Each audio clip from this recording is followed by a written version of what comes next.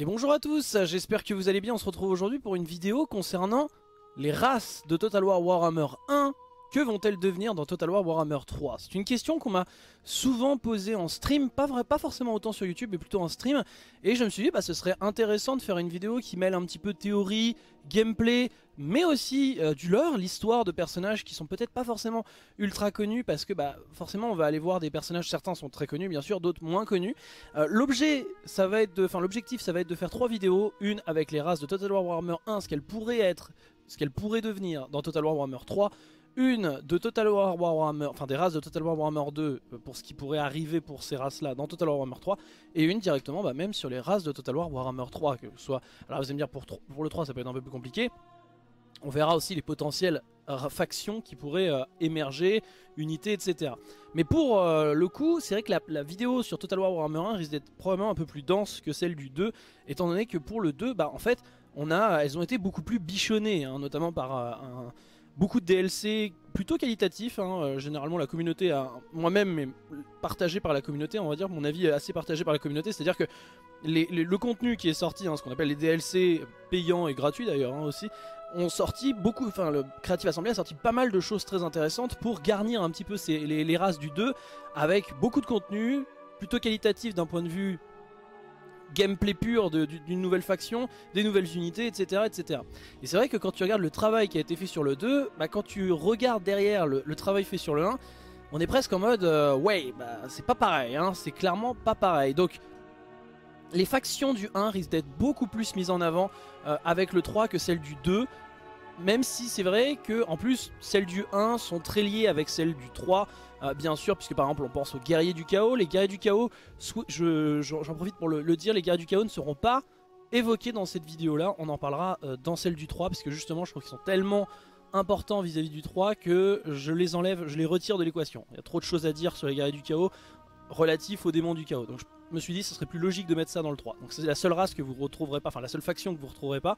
Mais en l'occurrence, que ce soit les, donc, les guerriers du chaos, l'Empire, La plupart des factions ont des, intérêts extrêmement liés avec l'arrivée du 3 et la concentration sur l'Est et le chaos. Parce que même pour les nains et, euh, même pour les, nains et les orques, hein, l'Est c'est aussi euh, une zone où ils sont très présentes. Donc c'est quelque chose qui, pour moi est super important à garder à l'esprit. Donc on va commencer, comme on voit notre ami euh, Carlito, on va commencer par l'Empire, hein, la faction qui généralement est bah, celle des du narrateur de l'univers de Warhammer, etc.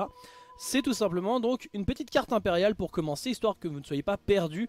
Euh, les petits rappels géographiques sont importants et aussi pour visualiser un petit peu les différentes factions qui existent au sein de l'Empire.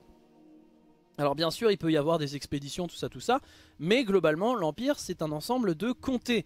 Et vous avez du coup ces différents comtés dirigés par un comte électeur. Donc à l'heure actuelle en jouable on a le Reichland avec euh, bien sûr l'empereur Karl Franz. Alors, il manque... Là, il n'y a pas le Soland, mais le Soland existe, mais il n'existe... En fait, le Soland est un comté qui a été détruit. Et du coup, ils l'ont remis dans Total War Warhammer pour justement donner un, endroit qui n'existe pas, enfin qui n'existe plus plutôt, à Balthazar Gelt. Mais au final, le Soland a vraiment existé. Mais aujourd'hui, le Soland a été récupéré par l'Averland et le Wissenland. Ce qui est intéressant, c'est de voir qu'on a du coup par exemple au nord le Nordland, euh, Lostland qui est un pays assez frontalier, enfin un comté assez frontalier avec euh, Kislev, du coup qui a de bonnes relations avec, le Auckland un petit peu sur la partie euh, du milieu, Middenland à l'ouest, le euh, Reichland, donc on en a déjà parlé avec la, ville capitale d'Aldorf, le Talabekland, vraiment la, zone centrale de l'Empire, à l'est, tout à l'est, l'Ostermark, qui a été pas mal touché par les différentes invasions du chaos, mais les invasions aussi des peaux et des morts vivants, l'Ostermark c'est une zone qui est qui est vraiment prise entre euh, trois feux, hein, euh, puisque bah, souvent les invasions chaotiques qui passent au milieu de Kislev arrivent en Ostermark, hein, c'est d'ailleurs là où se passe le jeu Mark of Chaos pour ceux qui, connaissent. Euh, la Sylvanie bien sûr avec les contes vampires, le Moot, on en parlera un petit peu plus, après, avec les, hobbits de Warhammer, les Halflings, donc les semi-hommes, Stirland, donc, qui est aussi une zone assez centrale, assez boisée, etc. Laverland et Wissenland qui forment les zones du sud sont généralement basés un petit peu sur le commerce et autres, et juste un comté qui n'est plus officiellement un comté euh, de l'Empire, c'est Marienburg avec euh, le Westland, si je ne dis pas de bêtises, c'était le, Westland avant, il me semble de mémoire, corrigez-moi si je me trompe hein, dans les commentaires, et avec Marienburg en capitale. Donc aujourd'hui, le Westland n'est plus comptabilisé comme un état impérial, mais il l'a été. Et on pourrait tout à fait voir Marienburg par exemple, hein. c'est pas, pas fondamentalement faux. Donc rien que ça déjà, ça vous donne quelque chose euh, avec des états qui sont assez puissants et autres. Dans ces états là, on va parler principalement du Middenland, qui est quand même un, état extrêmement important euh, dans euh, l'Empire. Il faut parler lore, mais aussi gameplay. D'un point de vue gameplay, on est dans Total War. La plupart des Total War s'écrivent avec des rivalités entre différentes factions, enfin différentes factions au sein même de la même race, par exemple. des rivalités de gameplay aussi. Il faut que ce soit pas trop facile au départ. Si tout le monde est pote direct, bon, il n'y a pas de souci. Donc, il faut des tensions, il faut des rivalités. Il faut, si jamais tu utilises, tu sors un contenu similaire, il faut ramener de nouvelles unités et autres. Et à ce titre, Middenland apparaît vraiment comme un gros client. Et il s'est passé beaucoup de choses dans l'histoire de Warhammer aussi, donc le Middenland est très demandé, notamment avec la ville de Middenheim. On en reparlera après. Euh, donc la plupart des comptes électeurs pourraient au final sortir. Parce que, évidemment, cette vidéo, c'est pas vous dire 100% il y a tel truc, 100% il y a tel truc, etc. Bien sûr, il y a quelques échos qu'on a déjà sur des sorties potentielles de personnages, notamment à Middenland, hein, c'est pas pour rien que je vais en reparler aussi. Mais globalement en fait tous les comptes électeurs pourraient sortir. C'est juste que dans ces comptes électeurs, il y en a qui sont plus connus que d'autres, ça veut pas dire pour autant, hein, on a des contre-exemples dans l'histoire de Total War Warhammer, de, personnages qui sont sortis et on se dit mais pourquoi ils ont pris celui-là plutôt qu'un autre? Par exemple, on en reparlera avec les contes vampires, avec euh, le nécromancien euh, Horseman, je crois que c'est Horseman il me semble, non, euh, je me rappelle même plus, c'est... c'est Horst, je sais, sais même plus. My, bad, je le connais tellement pas ce personnage que je et je le joue tellement jamais que je me rappelle plus. Mais de toute façon, je l'ai noté après, donc c'est pas un problème. Mais c'est vrai que on a des personnages, ou Silostra par exemple chez la Côte Vampire, qui est un personnage créé de toutes pièces. Donc on a certains personnages qui n'ont pas forcément une énorme fanbase ou une énorme communauté. On a même des personnages créés pour l'occasion. Ou par exemple Albéric de Bordelot chez les Bretoniens. Bon, c'est pas du tout l'un des grands Bretoniens qui était attendu par les, par les joueurs. quoi. Donc c'est vrai que on a des surprises aussi. Il faut bien se rendre compte que peut-être qu'on a... Là moi je vous parler de comté où on va attendre des gros personnages. Et là je parle de l'Empire mais ça, ça va se... Le propos que je vous donne là va se valider pour tout le reste. Potentiellement je vous parle de très gros noms. Mais on pourrait avoir d'autres persos. C'est juste que plus on va aller vers l'avant, moins normalement... D'un côté on va vider les fonds de tiroir. Mais si ces tiroirs n'ont pas été vidés en premier lieu avec encore énormément de personnages euh, charismatiques et emblématiques de la licence, bah c'est eux qui vont être privilégiés, il y a de très grandes chances. C'est plus pour les factions on a déjà, comme celle du 2 un petit peu, où on a déjà tout balancé, où là effectivement on va peut-être un peu vider les fonds de tiroir. Et pour le 1, il reste encore énormément de personnages emblématiques pour les différentes factions. Et nous allons donc parler de certains comptes électeurs qui sont un peu plus populaires que les autres. J'en ai parlé, j'en reparlerai juste après, donc je vais pas trop... Euh, me, spécialiser sur le sujet, parce que j'y reviens juste après, mais Boris Todbringer, le compte électeur du Midland, gardez ce nom en tête, on en reparlera.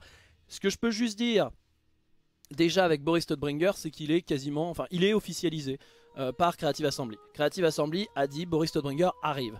Le truc c'est qu'on sait pas sous quelle forme, est-ce que ce sera à la sortie? Est-ce que ce sera sur un DLC futur? Est-ce que ce sera un personnage gratuit vous donne, que Creative Assembly donnera comme ça? Mais ce qui est sûr, c'est que Boris Todbringer arrive avec Total War Warhammer 3. Ensuite, on a Valmir von Rockhoff, qui est le compte électeur du Osland. Et là, vous voyez, c'est des figurines de la V4-V5 de ces personnages. Le Valmir von Rockhoff, ce qui pourrait être intéressant euh, d'un point de vue gameplay, c'est de donner le compte électeur du Osland qui pourrait par exemple eh être un personnage de l'Empire qui a des unités qui se lévitent. Et oui, avec l'arrivée de, faction, de la faction Kislev, eh bien on va avoir du coup les unités qui se. Et ce qui pourrait être intéressant avec Valmir von Rockhoff, c'est d'avoir une espèce de, faction un peu intermédiaire avec des unités de Kislev qui pourraient s'ajouter à celles euh, impériales plus, plus, on va dire, classiques de l'Empire, puisque, euh, et ne l'oublions pas, par exemple, ces figurines-là datent de la V4-V5, et à l'époque, eh bien, euh, les unités qui se notamment la Reine de Glace, eh bien, faisaient partie du roster impérial. C'était pas l'Empire, hein, déjà dans le lore, mais L'idée c'est que bah, Kislev et l'Empire ils se battent souvent ensemble, donc voilà, il y avait euh, le, gain, on va dire, on donnait un petit peu de. on aidait le, copain. Donc au final, Valmir von Rockhoff en free LC par exemple, qui pourrait arriver avec euh, Losland, avec euh, des troupes de Kislev en son sein, ce serait pas déconnant du tout, du tout, du tout. Ça ferait une faction aussi qui est totalement, mais très loin, très très très lointaine du reste des autres factions de l'Empire. C'est-à-dire bah, Karl Franz qui commence, comme je l'ai montré avec la map, qui commence vers le Reichland donc sud-ouest, et euh, Balthazar Gel qui commence au Soland, donc vraiment tout au sud de l'Empire, ça ferait une faction assez lointaine. À côté de ça, on a Marius Leitdorf. Marius Leitdorf, c'est probablement le comte électeur le plus connu après Boris Lodbringer. Parce que Marius Leitdorf, bah déjà, il a un surnom, c'est le fou. Marius Leitdorf, c'est le mec un petit peu taré. Mais pour vous rappeler un petit peu à quel point Marius Leitdorf est badass, déjà c'est un personnage qui se bat avec une épée, un croc runique, hein, c'est l'arme légendaire euh, des comtes électeurs, mais aussi une espèce d'épée courte, quasiment une dague, qui en fait un bretteur assez particulier, avec un style de combat très particulier. Un petit peu combat à l'italienne, j'ai envie de dire, euh, avec euh, à la fois et ça me rappelle aussi d'ailleurs du combat euh, japonais, hein. on pense à Musashi Miyamoto avec euh, un grand sabre et un petit sabre. Et le principe du coup c'est que eh ben, c'est un excellent bretteur. Et au final Marius Leitdorf, euh, il est même évoqué dans l'histoire de Warhammer que c'est probablement le meilleur bretteur de l'Empire avec un autre personnage qu'on va en rivalité, on va dire en concurrence directe avec un autre personnage que je préciserai juste après. Donc Marius Leitdorf, très apprécié dans l'univers étendu, etc. Et c'est le comte électeur de l'Averland. Et c'est d'ailleurs pour ça que l'Averland est parfois un petit peu en froid avec les autres factions de l'Empire parce que il est considéré comme n'étant pas du tout, enfin il est très peu apprécié par les autres comtes électeurs. Parce que Marius Leitdorf, on l'appelle le fou, pourquoi? C'est parce que c'est un personnage qui a une humeur, euh, il change très vite d'humeur. Notamment, eh bien, soit il est très profondément dépressif, soit il est extrêmement énervé et très colérique. Donc, mais au final c'est quelqu'un qui pense euh, qui est, euh, on va dire, un fervent défenseur de Karl Franz et de l'Empire. C'est juste que sa manière de faire gêne les autres comptes électeurs. Donc il y a des petits soucis diplomatiques. Donc là, par rapport à ce que je vous ai dit avant, c'est vrai que ça pourrait être intéressant. Il y a quand même un bémol, c'est que Marius Leitdorf commence beaucoup trop près du Soland et euh, du Reckland. Et eh oui, hein, l'Averland, je le rappelle, c'est tout en bas. Donc c'est c'est vraiment les, les, états voisins du Reckland et du Wissenland. Pour moi, ça semble pertinent. Ou alors, bien sûr, il y a une autre possibilité, c'est qu'il commence bien plus loin dans une espèce d'expédition et autres. Mais moi, Marius Leitdorf, c'est ce dernier aspect-là qui me gêne un petit peu sur l'apparition de Marius Leitdorf. Mais pourquoi pas? Ensuite, on a Aldebrand Ludenov, qui est le comte électeur du Auckland. Le Auckland, c'est la zone centrale de l'Empire qui est au-dessus du Talavekland. Donc vous voyez qui est prise en étau entre le Middenland et l'Ostland, c'est ce qu'on appelle les monts du milieu. Euh, et Auckland, et eh bien du coup, c'est une zone qui est assez intéressante puisque euh, elle a beaucoup de rivalité avec les Zumbet, notamment hein, le Auckland. Je reparlerai un petit peu de la famille Ludenov quand on attaquera les hommes bêtes d'ailleurs. Mais au final, ce sont des fauconniers. Donc euh, c'est potentiellement des comptes électeurs qui pourraient, euh, par exemple en Free LC, un personnage gratuit que pourrait donner euh, Creative Assembly, ce serait eh bien, un compte électeur avec potentiellement des, animaux un peu plus de la nature, par exemple des faucons. comme on l'a vu avec un peu de Richal, et vous savez les faucons, les chauves-souris, tout ça, tout ça. Bah peut-être qu'on pourrait avoir un grand aigle et des faucons sauvages pour les Ludenov qui sont connus pour leur talent de fauconnier. Voilà, c'est un truc. Personnellement, l'UD9, j'y crois pas du tout. Encore une fois, sa disposition, c'est vraiment au centre de l'Empire et je pense qu'il y a bien plus important euh, qu'Aldebrand l'UD9 à sortir, mais sait-on jamais. À côté de ça, donc, on a Marienburg également. Je n'ai pas de figurine pour Marienburg, mais Marienburg pourrait tout à fait être considéré aussi comme une faction jouable qui serait en rivalité du coup avec les, différentes nations impériales. Ça reste l'empire d'un point de vue code, hein, d'un point de vue développement, contrairement aux royaumes, aux principautés frontalières, les royaumes du sud, etc. qui sont pas, enfin, qui empires, j'ai envie de dire par défaut. Marienburg est une vraie nation impériale, même si elle n'est plus sous l'autorité impériale. Et en l'occurrence, Marienburg est très très souvent citée. Il faut pas oublier que c'est relatif. Vous avez le logo à Total War Warhammer 3, donc ça veut dire le nord et l'est sur le focus. Et Marienburg, même si c'est une ville de l'ouest, c'est l'une des villes les plus commerciales, les plus prospères et euh, qui fait le plus d'échanges diplomatiques avec les autres nations, et notamment Katei. Marienburg étant une ville extrêmement commerciale, eh bien elle a, euh, de, bonnes relations justement avec Katei. Donc on pourrait tout à fait avoir par exemple, euh, je sais pas, un, un comptoir commercial de Marienburg par exemple à Katei. D'ailleurs je crois que dans l'histoire c'est le cas. Donc ça pourrait tout à fait, euh, être l'occasion de ramener Marienburg en tant que faction jouable. Le problème de Marienburg je dirais c'est juste qu'on n'a pas forcément de personnage extrêmement emblématique mais ça peut tout à fait se créer ou rattacher Marienburg à un personnage déjà existant.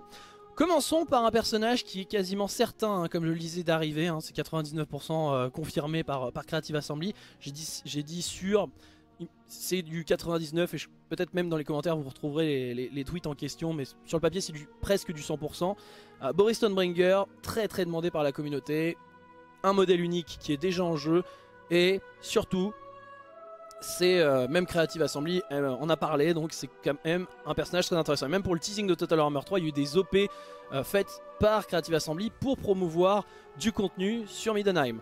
Donc là-dessus, c'est quand même assez intéressant. J'en avais parlé sur Twitter d'ailleurs. Euh, Boris Todbringer, du coup, c'est le comte électeur du Middenland qui trône à Middenheim. Middenheim qui est, euh, la grande, l'une des, fait tout simplement la plus grande forteresse de l'Empire, celle qui est réputée imprenable. Donc Middenheim, c'est tout simplement l'endroit où, que ce soit dans Tempête du Chaos, censé être la, la grande invasion d'Archaon, qui finalement a été semi-décanonisée, on va dire, parce que c'est juste la fin qui a été décanonisée, mais quasiment tous les protagonistes, eux, sont toujours euh, dans le canon de Warhammer. Et ensuite, dans End of Time, eh bien, la bataille finale se passe, si je ne dis pas de bêtises, euh, à Middenheim. Et de toute façon, Middenheim, ça a toujours été un lieu extrêmement important, que ce soit dans le jeu de rôle, dans les jeux de figurines, etc. etc. Donc Middenheim, c'est vraiment un, endroit très important. Ce qui est intéressant, c'est que les armées du Middenland, bah, ça rappelle un petit peu les Stark de l'univers de Game of Thrones, hein, pour ceux qui connaissent, si ça peut vous aider à comprendre un petit peu l'idée. Ce sont des hommes du Nord, qui ont eh bien, une manière assez euh, bien à eux de, voir les choses et qui sont assez loin de la capitale, donc qui sont euh, très conservateurs, qui sont très indépendantistes et qui ont une religion différente de celle de euh, l'empire principal, hein, puisqu'on n'est pas la religion de Sigmar n'est pas première, c'est pas la première religion du Middenland, c'est tout simplement la religion d'Ulric, Ulrich qui était tout simplement Ulrich, c'est tout simplement la religion d'ailleurs de Sigmar. Sigmar, quand c'était un vrai homme, avant d'être déifié, et Sigmar, c'était il était euh, un partisan, hein, il servait le culte d'Ulrich. Donc au final, Ulrich, c'est quelque chose d'assez important. Et Ulrich, bah, justement, en tant que religion, a ses propres codes, ses propres serviteurs, ses propres, propres euh, fanatiques, j'ai envie de dire. Et du coup, eh bien, il y a tout un roster qui arrive, notamment grâce au contenu Tempête du Chaos, qui amène énormément, énormément d'unités différentes, spécifiques au Middenland. Je vais vous parler des prêtres d'Ulrich, des guerriers d'Ulrich, des chiens de chasse, des gardes, de la garde Teutogen. La garde Teutogen, elle est juste sublime. Ce sont des énormes... Ça ressemble presque à des guerriers du chaos. Hérésie, mais ça ressemble presque à des guerriers du chaos. C'est-à-dire des, hommes un peu barbares avec beaucoup de barbe. D'ailleurs, ça fait partie de leur code, ils ne doivent pas se raser. Ils ont un énorme marteau, une énorme armure en plaque et une peau de loup euh, sur l'épaule. Donc c'est vraiment des guerriers qui ont une classe absolue. Hein. La garde Teutogen, ça rigole pas. Pas de bouclier, pas tout ça. Non, non, gros marteau à deux mains. C'est un peu les les, orques noirs de l'Empire, quoi. C'est énorme armure, énorme marteau, euh, c'est du, du très très lourd et spécialisé pour, avec leur marteau, détruire justement, et ça c'est déjà dans le lore, donc parfait pour le gameplay, spécialisé dans la destruction euh, d'armure ennemie. Et principalement du coup contre les guerriers du chaos du coup. Donc c'est un peu les anti-guerriers du chaos j'ai envie de dire. Et ça c'est super intéressant et on a même des héros et des seigneurs qui pourraient arriver avec ça, avec les, donc bah, littéralement les prêtres d'Ulric, les templiers d'Ulric et l'art Ulric en personne, c'est un peu le pape de la religion euh, de, euh, du culte d'Ulric. En plus de ça, avec l'arrivée de Boris Todbringer, donc on aurait enfin cette nation jouable. Et en plus de ça, eh bien, on a l'arrivée d'un héros légendaire qui était déjà dans le roster euh, de Middenheim avec l'arrivée de Tempête du Chaos, c'était tout simplement Valten. Valten, qui pourrait être un petit peu le seigneur croaque ou Ariel pour les elfes sylvains ou croaques des hommes lézards. Valten qui est censé être le, véhicule de Sigmar, la, résurrection de Sigmar en personne, s'appelle Valten, qui est un jeune fermier qui a été euh, élu, on va dire, par, par Sigmar. Et euh, eh bien, il est très lié. Alors, vous allez me dire, pourtant, c'est pas Ulrich, c'est Sigmar. Oui, et il est très lié à l'avenir de Middenheim pas que Middenheim, il a été, parce que souvent Middenheim, il y avait les grosses bastons euh, de fin des temps, tout ça, tout ça, donc Valten allait aider Middenheim. Mais au final, Valten, ce qui est intéressant, c'est qu'il pourrait arriver avec le contenu sur Middenheim et sur Middenland, avec l'arrivée de Boris Todbringer, mais d'un autre côté, eh bien, on pourrait avoir Valten qui serait un personnage héroïque et qui pourrait être récupéré par toutes les nations de l'Empire que ce soit euh, Karl Franz, que ce soit Boris Todbringer, que ce soit euh, Volkmar, etc. etc. Euh, enfin, je dis Boris Todbringer, mais je voulais dire aussi Balthazar Gelt. Donc, toutes les factions de l'Empire pourraient le débloquer en accomplissant une différente série de quêtes, comme on récupère Croak ou Ariel. Donc ça c'est assez intéressant. Le petit problème, le petit bémol pour Boris Todbringer, c'est quand même son positionnement. Et un petit peu à l'image de ce qui arrivé avec Total War Warhammer 2, je vois pas Boris commencer directement à Middenheim parce que c'est trop proche du reste. Et n'oublions pas qu'on est sur une situation, on est Total War Warhammer 3. Euh, Boris Todbringer a une histoire très personnelle à l'égard du chaos, notamment hein, il a un œil en moins, c'est parce qu'il a crevé euh, l'œil de euh, Kazrak le Borgne, l'homme bête, le seigneur homme bête, le premier seigneur homme bête du, du jeu d'ailleurs.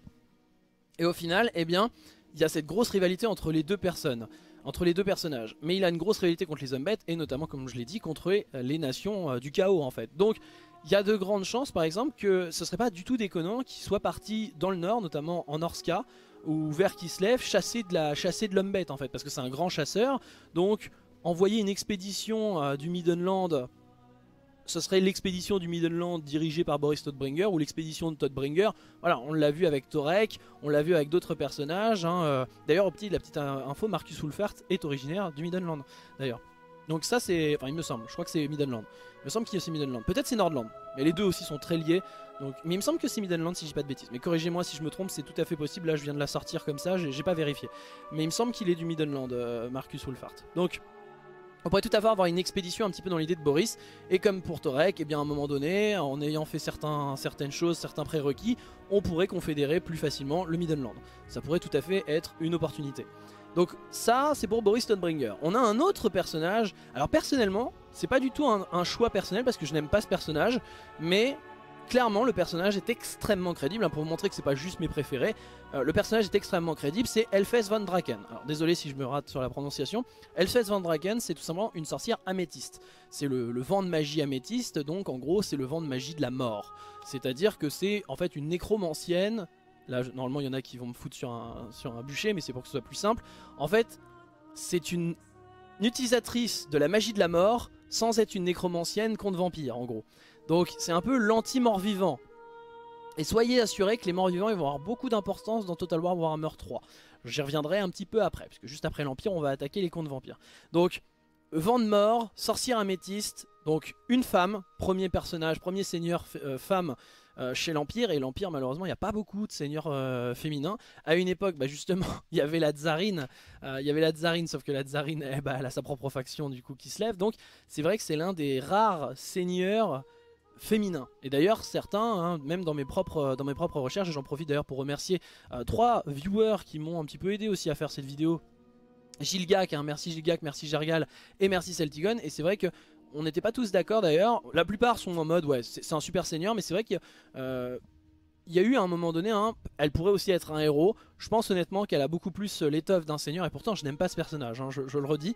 Mais elle pourrait amener du coup les seigneurs magiciens qui sont très très demandés, hein, puisqu'on peut normalement avoir un seigneur magicien du côté de l'Empire, il n'y en a pas. Donc elle pourrait amener les seigneurs euh, magiciens, les seigneurs sorciers. Elle pourrait ramener tous les collèges de magie manquants pour l'Empire. Je suis pas sûr qu'il en manque beaucoup, mais il me semble qu'il en manque quelques-uns. Donc ramener tous les collèges de magie disponibles, donc euh, chaque sorcier de l'Empire puisse jouer avec différents euh, domaines de magie, tous les domaines de magie connus pour l'Empire, et surtout un système qui pourrait être très intéressant, similaire aux contes électeurs, mais pour les collèges de magie. L'idée qu'au lieu des contes électeurs avec euh, Karl qui doit améliorer la diplomatie avec les, eh bien en fait avec les, différents contes, eh bien on aurait un système similaire mais avec les grandes écoles de magie, puisque bah, l'école de magie d'Aldorf, normalement le collège de magie d'Aldorf, eh bien on a plusieurs plusieurs... Euh, c'est l'idée, c'est un collège avec un S. Hein. L'idée, c'est qu'il y a plein de... En fonction de votre vent de magie, il y a, toute une institution autour. Donc ça, ça pourrait être intéressant pour essayer, euh, voilà, d'avoir une rivalité politique et autres. Et par exemple, eh ben, ça mettrait aussi, ça permettrait d'avoir un système un peu unique aussi à Balthazar Gelt. Donc ça permettrait de rework un petit peu Balthazar Gelt, euh, qui pourrait profiter de cette nouvelle mise à jour.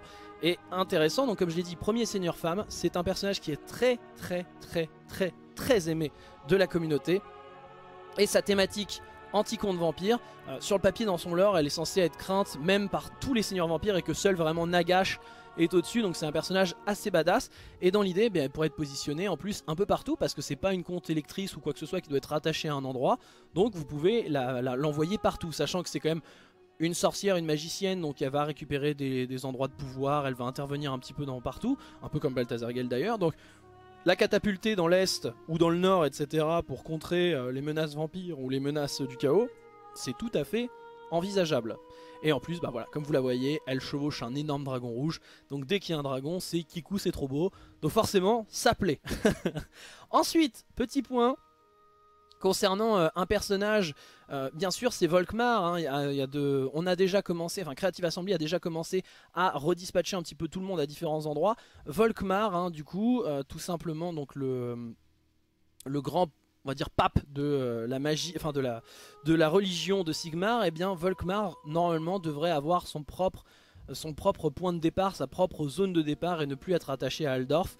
Donc la question qu'on pourrait se poser c'est où va-t-il être envoyé? Est-ce qu'il va il va être attaché à une nation de l'Empire ou est-ce qu'il va être envoyé en expédition à certains endroits? Volkmar étant un petit peu le pape armé euh, de la foi de l'Empire, vous pouvez tout à fait l'envoyer partir euh, euh, dans les désolations du chaos, en Norska, à Kislev, dans les terres sombres, etc. etc. C'est tout à fait envisageable. Maintenant, Volkmar, dans son histoire, il est très anti-chaotique, mais surtout, il, est très, il lutte énormément contre la corruption vampirique.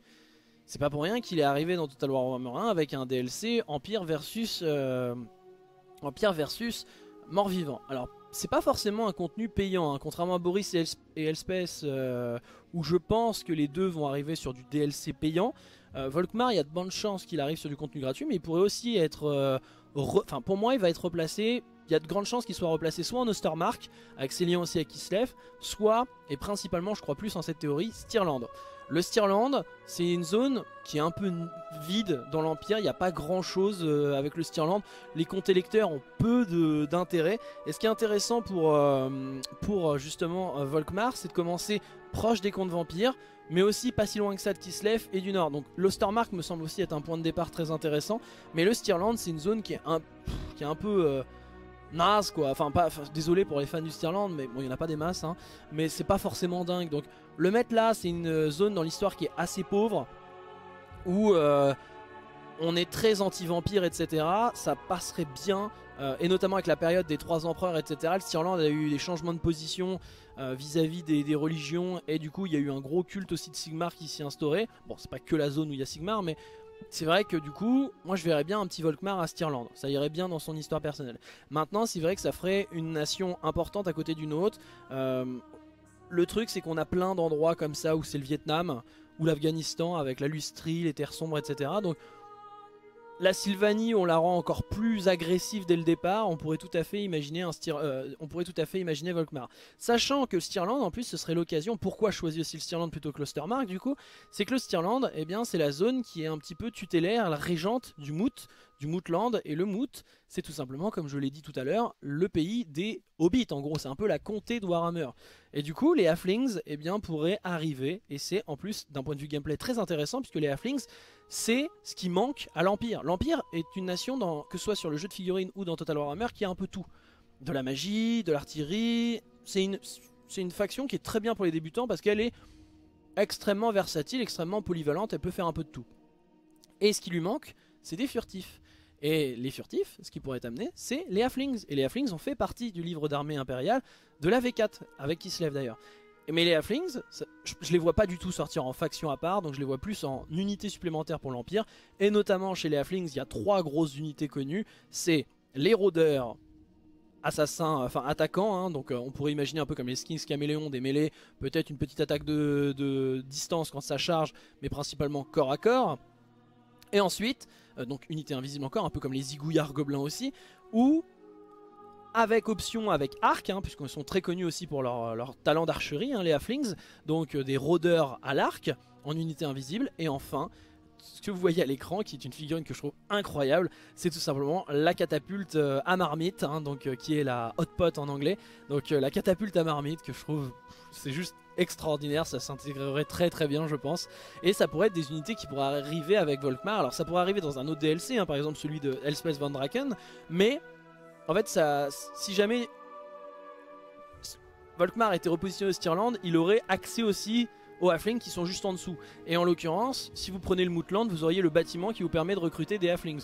Donc ça pourrait être un truc qui pourrait, euh, à mon sens, être plutôt pas mal pour justement... Les Halflings sont très demandés par la communauté aussi, donc ce serait l'occasion d'avoir, d'un point de vue lore, gameplay, d'avoir quelque chose de, qui tient la route. Ensuite, nous avons un autre personnage très très très demandé par la communauté, euh, c'est Kurtelborg. Alors Kurtelborg c'est tout simplement un personnage qui apparaît dans tous les livres d'armée euh, de l'Empire, c'est le Rex Marshal. Qu'est-ce que le Rex Marshal C'est souvent le général en chef de toutes les armées impériales. Donc rien que là vous vous dites ouais c'est bizarre ce soit pas dans un jeu qui s'appelle Total War Warhammer. c'est vrai que c'est bizarre. Le petit, bémol, de ce qui fait qu'aussi Kurtelborg, bah, je le mis si bas dans, mon, on va dire dans mon dans mon top, dans le classement c'est que euh, il est très, bah, il réside à Aldorf il est très très proche de l'empereur. C'est littéralement un peu le bras droit euh, de l'empereur, donc en l'occurrence de Karl Franz. Donc Karl Franz, en plus de ça, a déjà des spécialisations sur la Rexguard. Le Rex Marshal, c'est le chef de la Rexguard et du coup le chef des armées de l'Empire. Donc, on va dire qu'il a déjà été un petit peu phagocyté par, euh, par Karl Franz. Donc, évidemment, il est légitime, mais ça paraît quand même un peu contesté, on va dire, et contestable. Mais évidemment, en tant dans, son propre, dans sa propre histoire, en tant que général en chef des armées de l'Empire, eh bien il est déjà sorti de l'Empire. On peut très bien l'imaginer combattre dans un des états de Kislev pour aider les alliés Kislevites. Ça marcherait très très bien. Et en plus dans son histoire par exemple, bah, il a combattu à Kislev. Et dans sa propre histoire aussi, il a combattu en Arabie. Eh oui, il a combattu en Arabie, donc on pourrait aussi l'imaginer euh, partir prendre par exemple en Empire Mortel, prendre euh, la place de Swedenborg par exemple, en mode bon bah voilà, maintenant euh, Karl Franz, etc. On va s'en occuper. Mais l'Arabie, j'en reparlerai dans, la vidéo sur Total Warhammer 3. Je vais en reparler après aussi. Il y a pas mal de, personnages qui sont aussi liés à l'Arabie. L'Arabie pourrait arriver mais bien plus tard dans Total Warhammer 3 et ce serait l'occasion par exemple pourquoi pas de sortir un Kurtelborg à ce moment là. Donc pas au début mais je sais pas 2, 3, 4, 5 ans après la sortie de Total Warhammer 3. Mais c'est vrai que je le vois plus en système d'expédition donc loin de l'Empire plus que vraiment dans un, dans un endroit de l'Empire. À côté de ça, un dernier personnage, cette fois pas en seigneur mais en héros, euh, donc euh, quelqu'un qui ne puisse pas diriger des armées mais puisse rejoindre des armées. Pas forcément un héros légendaire justement, mais un héros normal, contrairement à Valten que j'ai cité en héros légendaire. Ludwig Schwarzhelm, qui est tout simplement le champion de l'empereur. Donc il est en gros la main armée de Karl Franz sur les champs de bataille et il représente Karl Franz sur les champs de bataille. Donc ce qui peut être pas mal, c'est qu'en fait, quand une faction sort, généralement, vous avez des spéciales... Enfin, vous avez, euh, notamment avec le 2, on le voit énormément, c'est-à-dire qu'il y a par exemple pour les elfes noirs, Malekis Morati. Malekis, c'est littéralement l'elfe noir normal. Alors bien sûr, en tant que Malekis, il a des unités... Il a sa monture, hein, son dragon noir, tout ça, tout ça, ses pouvoirs, etc. Bien sûr. Mais en tant que faction, c'est pas ultra incroyable, ultra intéressant. Ce qu'on a vu un petit peu avec certains reworks arriver, notamment sur, à l'égard du Total War Warhammer 1, c'est par exemple euh, Manfred, euh, pas Manfred, euh, mince, le Necro, Heinrich Kemmler. Heinrich Kemmler par exemple on lui a rajouté la mécanique de Krell, où il puisse invoquer Krell pour pouvoir voilà en profiter etc.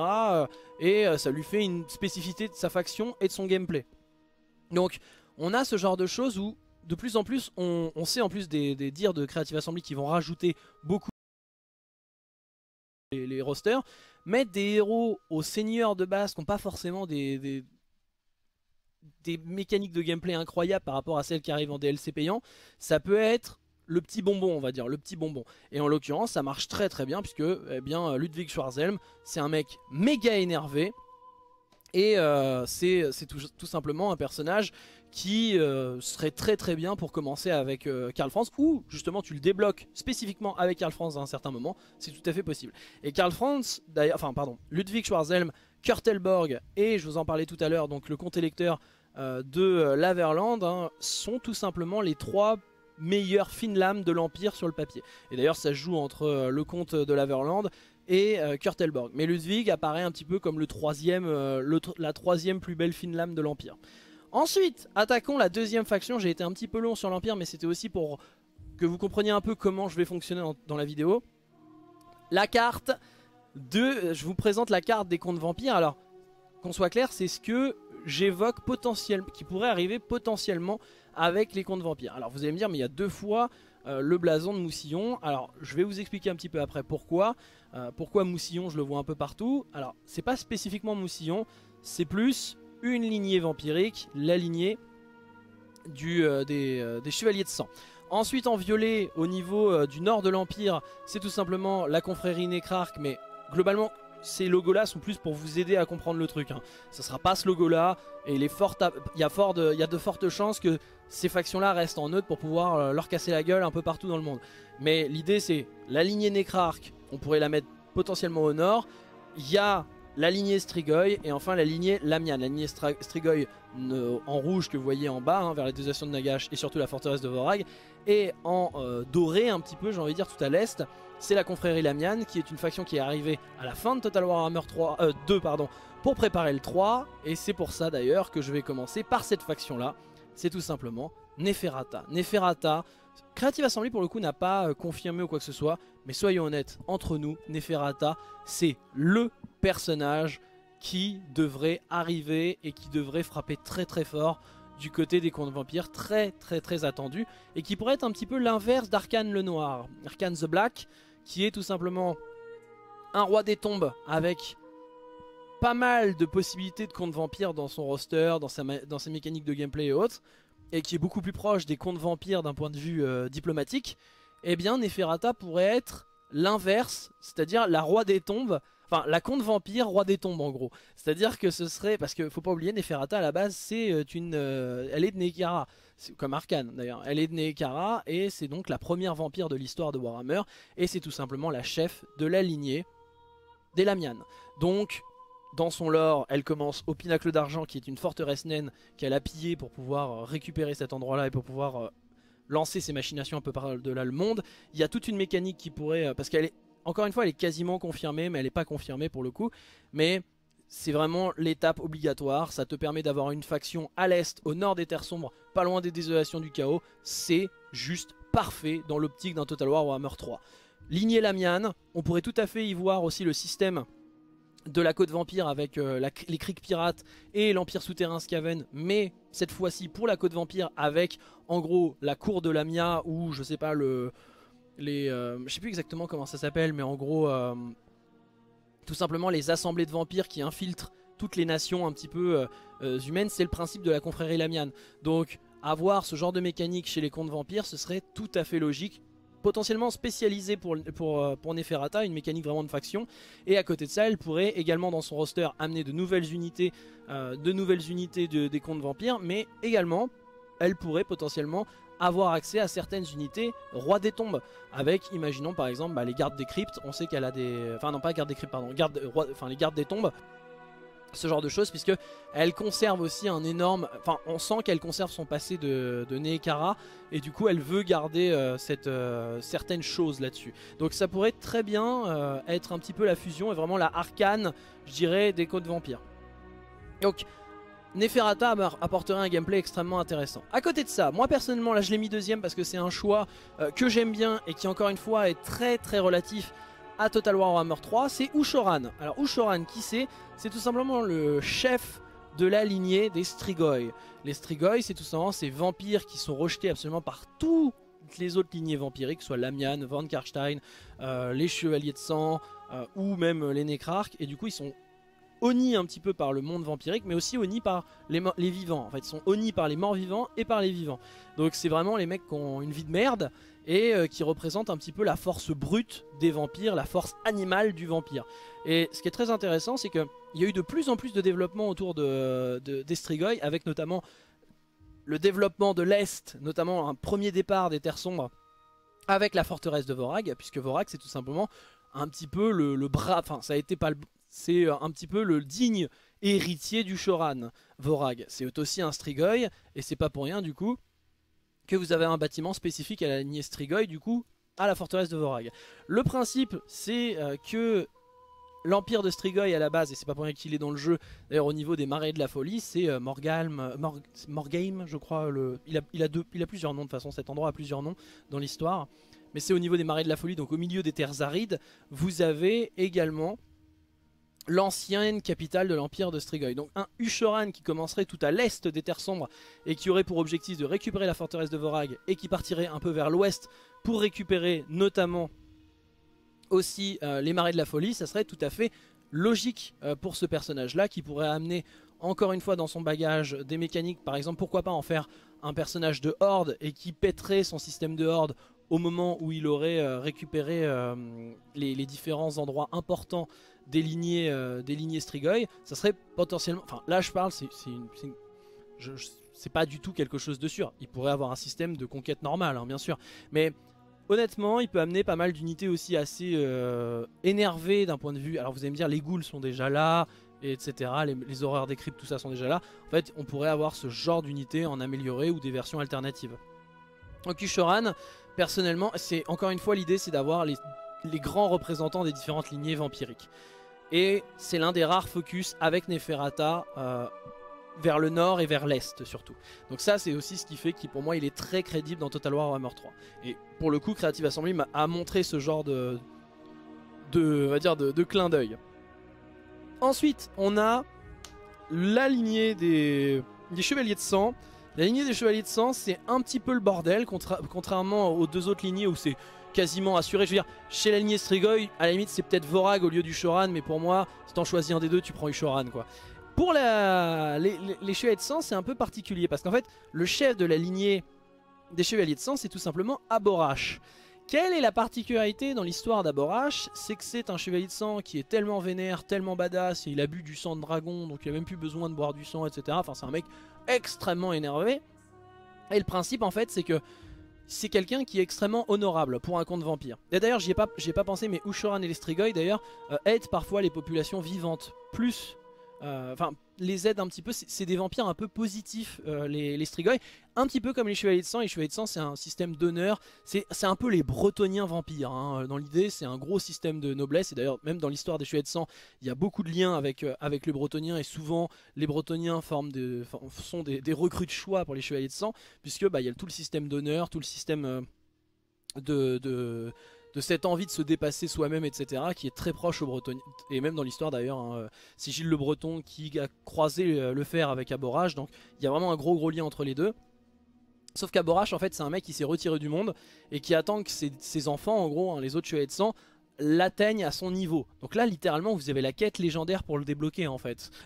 c'est montrer ce que vous valez, et comme ça, à un moment donné, vous pourrez recruter le héros légendaire Aborash pour les Chevaliers de Sang. Je pense qu'il serait spécifique aux Chevaliers de Sang pour le coup, parce que il pourrait l'ouvrir à tous les comptes vampires, mais honnêtement, je pense que ce serait vraiment spécifique à la lignée euh, des Chevaliers de Sang. Donc, Aborash, je le vois pas du tout en seigneur de faction, mais beaucoup plus en chef, en, beaucoup plus en héros légendaire. À côté de ça, du coup, il y a deux grands candidats pour les Chevaliers de Sang. On a tout d'abord Wallach. Wallach qui est tout simplement le grand disciple d'Aborash. Et du coup ça pourrait être lui qui devrait justement prouver sa valeur pour pouvoir débloquer son maître, à savoir Aborash. Wallach, vous pouvez le positionner un peu partout, même si c'est vrai que son histoire est beaucoup plus vers l'ouest. On pourrait tout à fait avoir euh, l'ouest du vieux monde, hein, bien sûr mais on pourrait tout à fait le, mettre un peu partout. Voilà, il n'y a pas de souci à ce niveau-là, puisque globalement, c'est des chevaliers vampiriques un peu errants, qui bougent, qui vont faire des trucs, qui affrontent des monstres, etc., puis qui reviennent. Donc on pourrait tout à fait le voir un peu partout. Maintenant, voilà, ce serait le choix le plus logique d'un point de vue lore, mais d'un point de vue gameplay pur et d'un point de vue fan de Total War, eh bien, celui qui est très très très demandé, c'est le duc écarlate, qui à l'heure actuelle réside à Moussillon, ce qui n'a aucun sens dans le lore d'ailleurs, hein, parce que ce n'est pas du tout euh, le duc écarlate n'est pas du tout originaire de Moussillon, il est originaire d'Aquitaine et il a quasiment aucun lien avec Moussillon en fait. Les deux sont des morts vivants, oui, mais Moussillon c'est dirigé par d'autres personnes, pas par le duc écarlate. Et en l'occurrence, le duc écarlate, ça pourrait être l'occasion justement de le repositionner à un endroit beaucoup plus logique et cohérent euh, d'un point de vue lore et permettre d'avoir de dédoubler la faction en fait d'une nouvelle faction vampirique. Moussillon resterait Moussillon et à côté de ça on aurait le duc écarlate qui se pointerait un peu partout. Et c'est là que vous comprenez pourquoi j'ai mis cette carte. C'est-à-dire qu'on aurait Moussillon potentiellement effectivement qui pourrait être le starter s'il reste dans ce délire là mais ce serait dommage ou sinon l'envoyer un peu partout. Et l'un des endroits les plus connus euh, de notre cher duc écarlate, c'est l'Arabie. Alors bien sûr ils peuvent l'envoyer ailleurs, hein.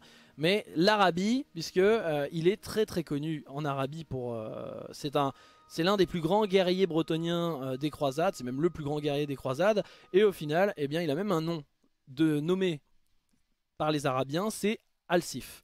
Donc, le mettre en Arabie pour un futur contenu, pourquoi pas qui pourrait arriver en Arabie, ça pourrait être logique. Le problème de l'Arabie, c'est que normalement, elle n'est pas sur la carte de Total Warhammer 3. Donc, ce serait un contenu un peu exclusif, ou alors il le foutrait sur la, carte de Total Warhammer 3 à un endroit et en Empire Mortel, ils le foutent en Arabie. Ça permettrait aussi d'avoir une nouvelle nation euh, vampirique en Arabie, parce qu'en Arabie vous avez euh, la confrérie Nécrarque, mais elle se fait péter euh, direct par Jeanne et il n'y a plus personne en fait. Donc ça permettrait d'avoir une autre présence, et sur le papier, l'Arabie et les terres du Sud, c'est quand même une sacrée poudrière. Donc remettre une nation contre vampire là-bas, ça pourrait être pas mal, parce que à une époque, les contes vampires étaient très présents à Nekara dans le jeu. Hein. Je parle pas dans l'histoire, hein. je parle dans le jeu. Sauf que bah, c'était pour préparer l'arrivée, c'était un peu des placeholders pour préparer l'arrivée des rois des tombes. Depuis, il y a quasiment plus de présence contes vampires euh, dans les terres du sud. Et je parle de la partie ouest, parce que vous allez me parler Lamia, etc. Oui, oui, là d'accord, c'est tout à fait logique. D'ailleurs, Neferata aurait pour mission de récupérer Lamia. Mais pour euh, mettre Alcif, hein, le, comte écarlate, le duc écarlate, qui est très très apprécié, ça pourrait être, ça pourrait être, euh, ça pourrait être intéressant. À côté de ça, on a la lignée Necrarch. Alors pourquoi je mets la lignée Necrarch si basse? C'est tout simplement parce que bah, la lignée Necrarch a déjà un représentant. Alors vous allez me dire, c'est pas tout à fait ça. En fait, à l'heure actuelle, vous avez la lignée des Van Karstein qui est surreprésentée, ça c'est clair. Avec Isabella, euh, Vlad, tout ça, tout ça, même Manfred. Mais Manfred sur le papier, c'est un Van Karstein qui est devenu Necrarch. Donc, sur le papier, Manfred représente aussi la lignée Necrarch. Même si bien sûr, je suis d'accord d'un point de vue gameplay, il est beaucoup plus bourrin et proche d'un d'un Van Karstein que le grand sorcier que devrait être un Necrarque.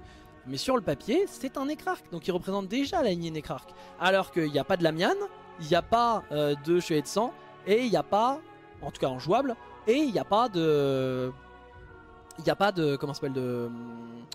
Euh, de Strigoi. Donc pour le coup, là on aurait vraiment quelque chose d'unique. D'ailleurs je reviens juste aussi il pourrait tout à fait euh, sortir, plutôt qu'un gros contenu, il pourrait tout à fait sortir Moussillon en free LC avec le Duc Écarlate qui est très demandé, basta, hein, sans prise de tête. Hein. Ensuite, on aurait donc potentiellement chez les Necrarques, même si j'y crois moins, euh, Zacharias l'Éternel. Il représenterait donc la lignée Necrar comme je viens de vous le dire. Ce qui est intéressant, c'est que son histoire, il y a une idée, puisqu'il est au nord des monts du milieu. Donc rappelez-vous de la carte de l'Empire, il est vers le nord de l'Empire en fait. Euh, vers le Auckland, l'Osland, etc. Et donc ce qui est intéressant, c'est que euh, il est, euh, il a, on sait qu'il a pas mal bourlingué aussi, puisque les Necrarques, l'idée c'est que c'est des mecs qui restent un peu isolés dans leur tour, qui lèvent des armées euh, temporaires, qui font leur truc et qui ensuite repartent dans leur tour et dans leurs endroits, dans leurs caveaux et autres. Donc c'est des mecs qui bougent beaucoup pour aller récupérer des artefacts magiques. Donc ça c'est clair que par rapport à la, mécanique de faction, ça pourrait tout à fait se voir assez facilement. Et en plus de ça, bah, ça pourrait être une raison pour l'envoyer dans les terres sombres, où il y a aussi pas mal d'historiques euh, sur les comptes, sur les comptes vampires ou de bataille des comptes vampires ou vers les désolations de Nagash, etc. Donc ce serait pas forcément déconnant. Euh, à côté de ça, on a euh, Elman Gorst. Voilà, j'avais dit que j'avais oublié comment il s'appelait l'autre. Elman Gorst qui est censé normalement avoir aussi sa faction de départ, hein, je le rappelle. Et Elman Gorst, normalement, est lié au lore de Templeof. Le problème, c'est que c'est un vagabond c'est un vagabond, donc il faudrait replacer Elmangorst quelque part. Parce que si on le met à Templeof, bah, le problème c'est que c'est trop proche du reste de la Sylvanie et des autres factions jouables de, des contes vampires. Donc ça ferait une sorte de... Ça, mettrait vraiment tous les contes vampires au même endroit et c'est pas sain pour le jeu. Donc Elmangorst, dans son lore, c'est aussi un vagabond, donc tu peux l'envoyer un peu partout. Le mettre plutôt dans les régions de l'Empire ou de Kislev, ce serait le plus logique puisqu'il est quand même très très lié à l'histoire de l'Empire. Donc potentiellement le foutre aussi euh, vers par exemple euh, les monts du milieu et vers le nord de l'Empire serait logique. Donc là où il y a le blason des confréries Nécrarques, on pourrait tout à fait imaginer Elmangorst à cet endroit là et la confrérie Nécrarque si elle doit sortir, avec par exemple comme je l'ai dit, euh, donc comment il s'appelle mince Zacharias l'éternel Zacharias l'éternel qui n'est pas le grand dirigeant de qui n'est pas le grand dirigeant tout simplement des nécrarques, mais c'est en gros chaque nécrarque a tué, c'est un peu l'idée des sites, chaque nécrarque a tué son maître pour récupérer ses pouvoirs, etc.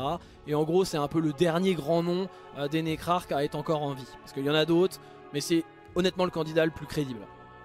Donc au final, Elmangorst, on pourrait le voir un peu partout au niveau de l'Empire, pourquoi pas même en Orska, hein, euh, éventuellement, et l'un de ses objectifs serait tout simplement de récupérer Templeof et de bien s'allier avec Manfred puisque sur le papier bah, c'est un pote de Manfred.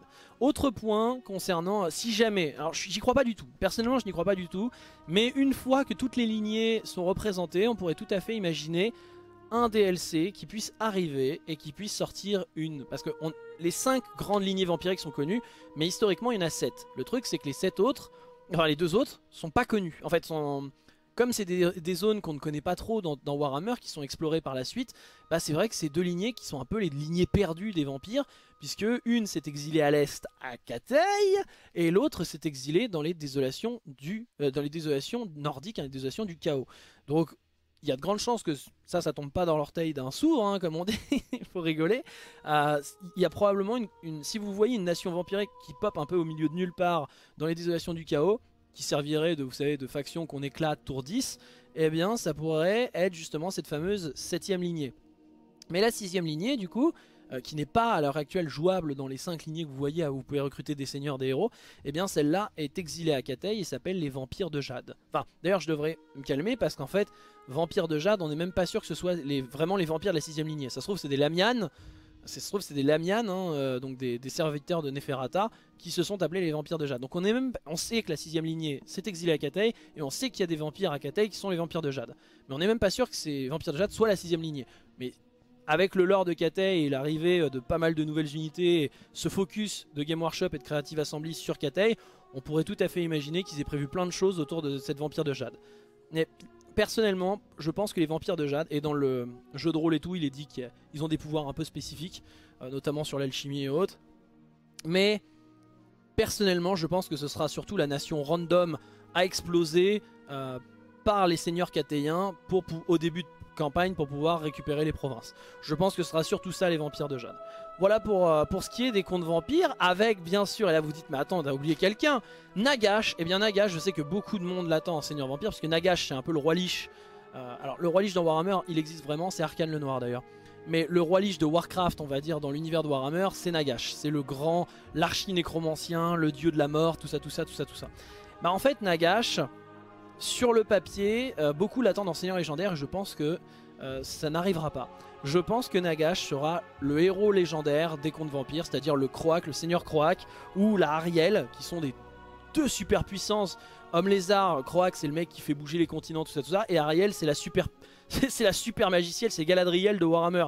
Donc je pense qu'honnêtement, Nagash sera dans ce même système. Et surtout, Nagash est un personnage qui est recherché par pas mal de contes vampires et même hors des contes vampires.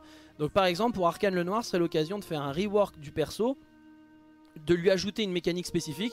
C'est qu'Arcane le Noir avec l'arrivée de Total Warhammer 3, bah, son objectif c'est d'aller récupérer les donations de Nagash pour invoquer Nagash. Et une fois que tu as invoqué Nagash, boum, tu l'as dans ton armée en tant que héros légendaire. Ce serait potentiellement euh, faisable aussi par les von Karstein, par euh, Manfred, par, euh, par tout le monde en fait. Donc par tous les contes vampires, Neferata, etc. Donc pour moi, je le vois beaucoup plus en héros légendaire pour les contes vampires, plus Arcane le Noir. Ensuite, nous allons pouvoir attaquer les peaux vertes, les orques et gobelins.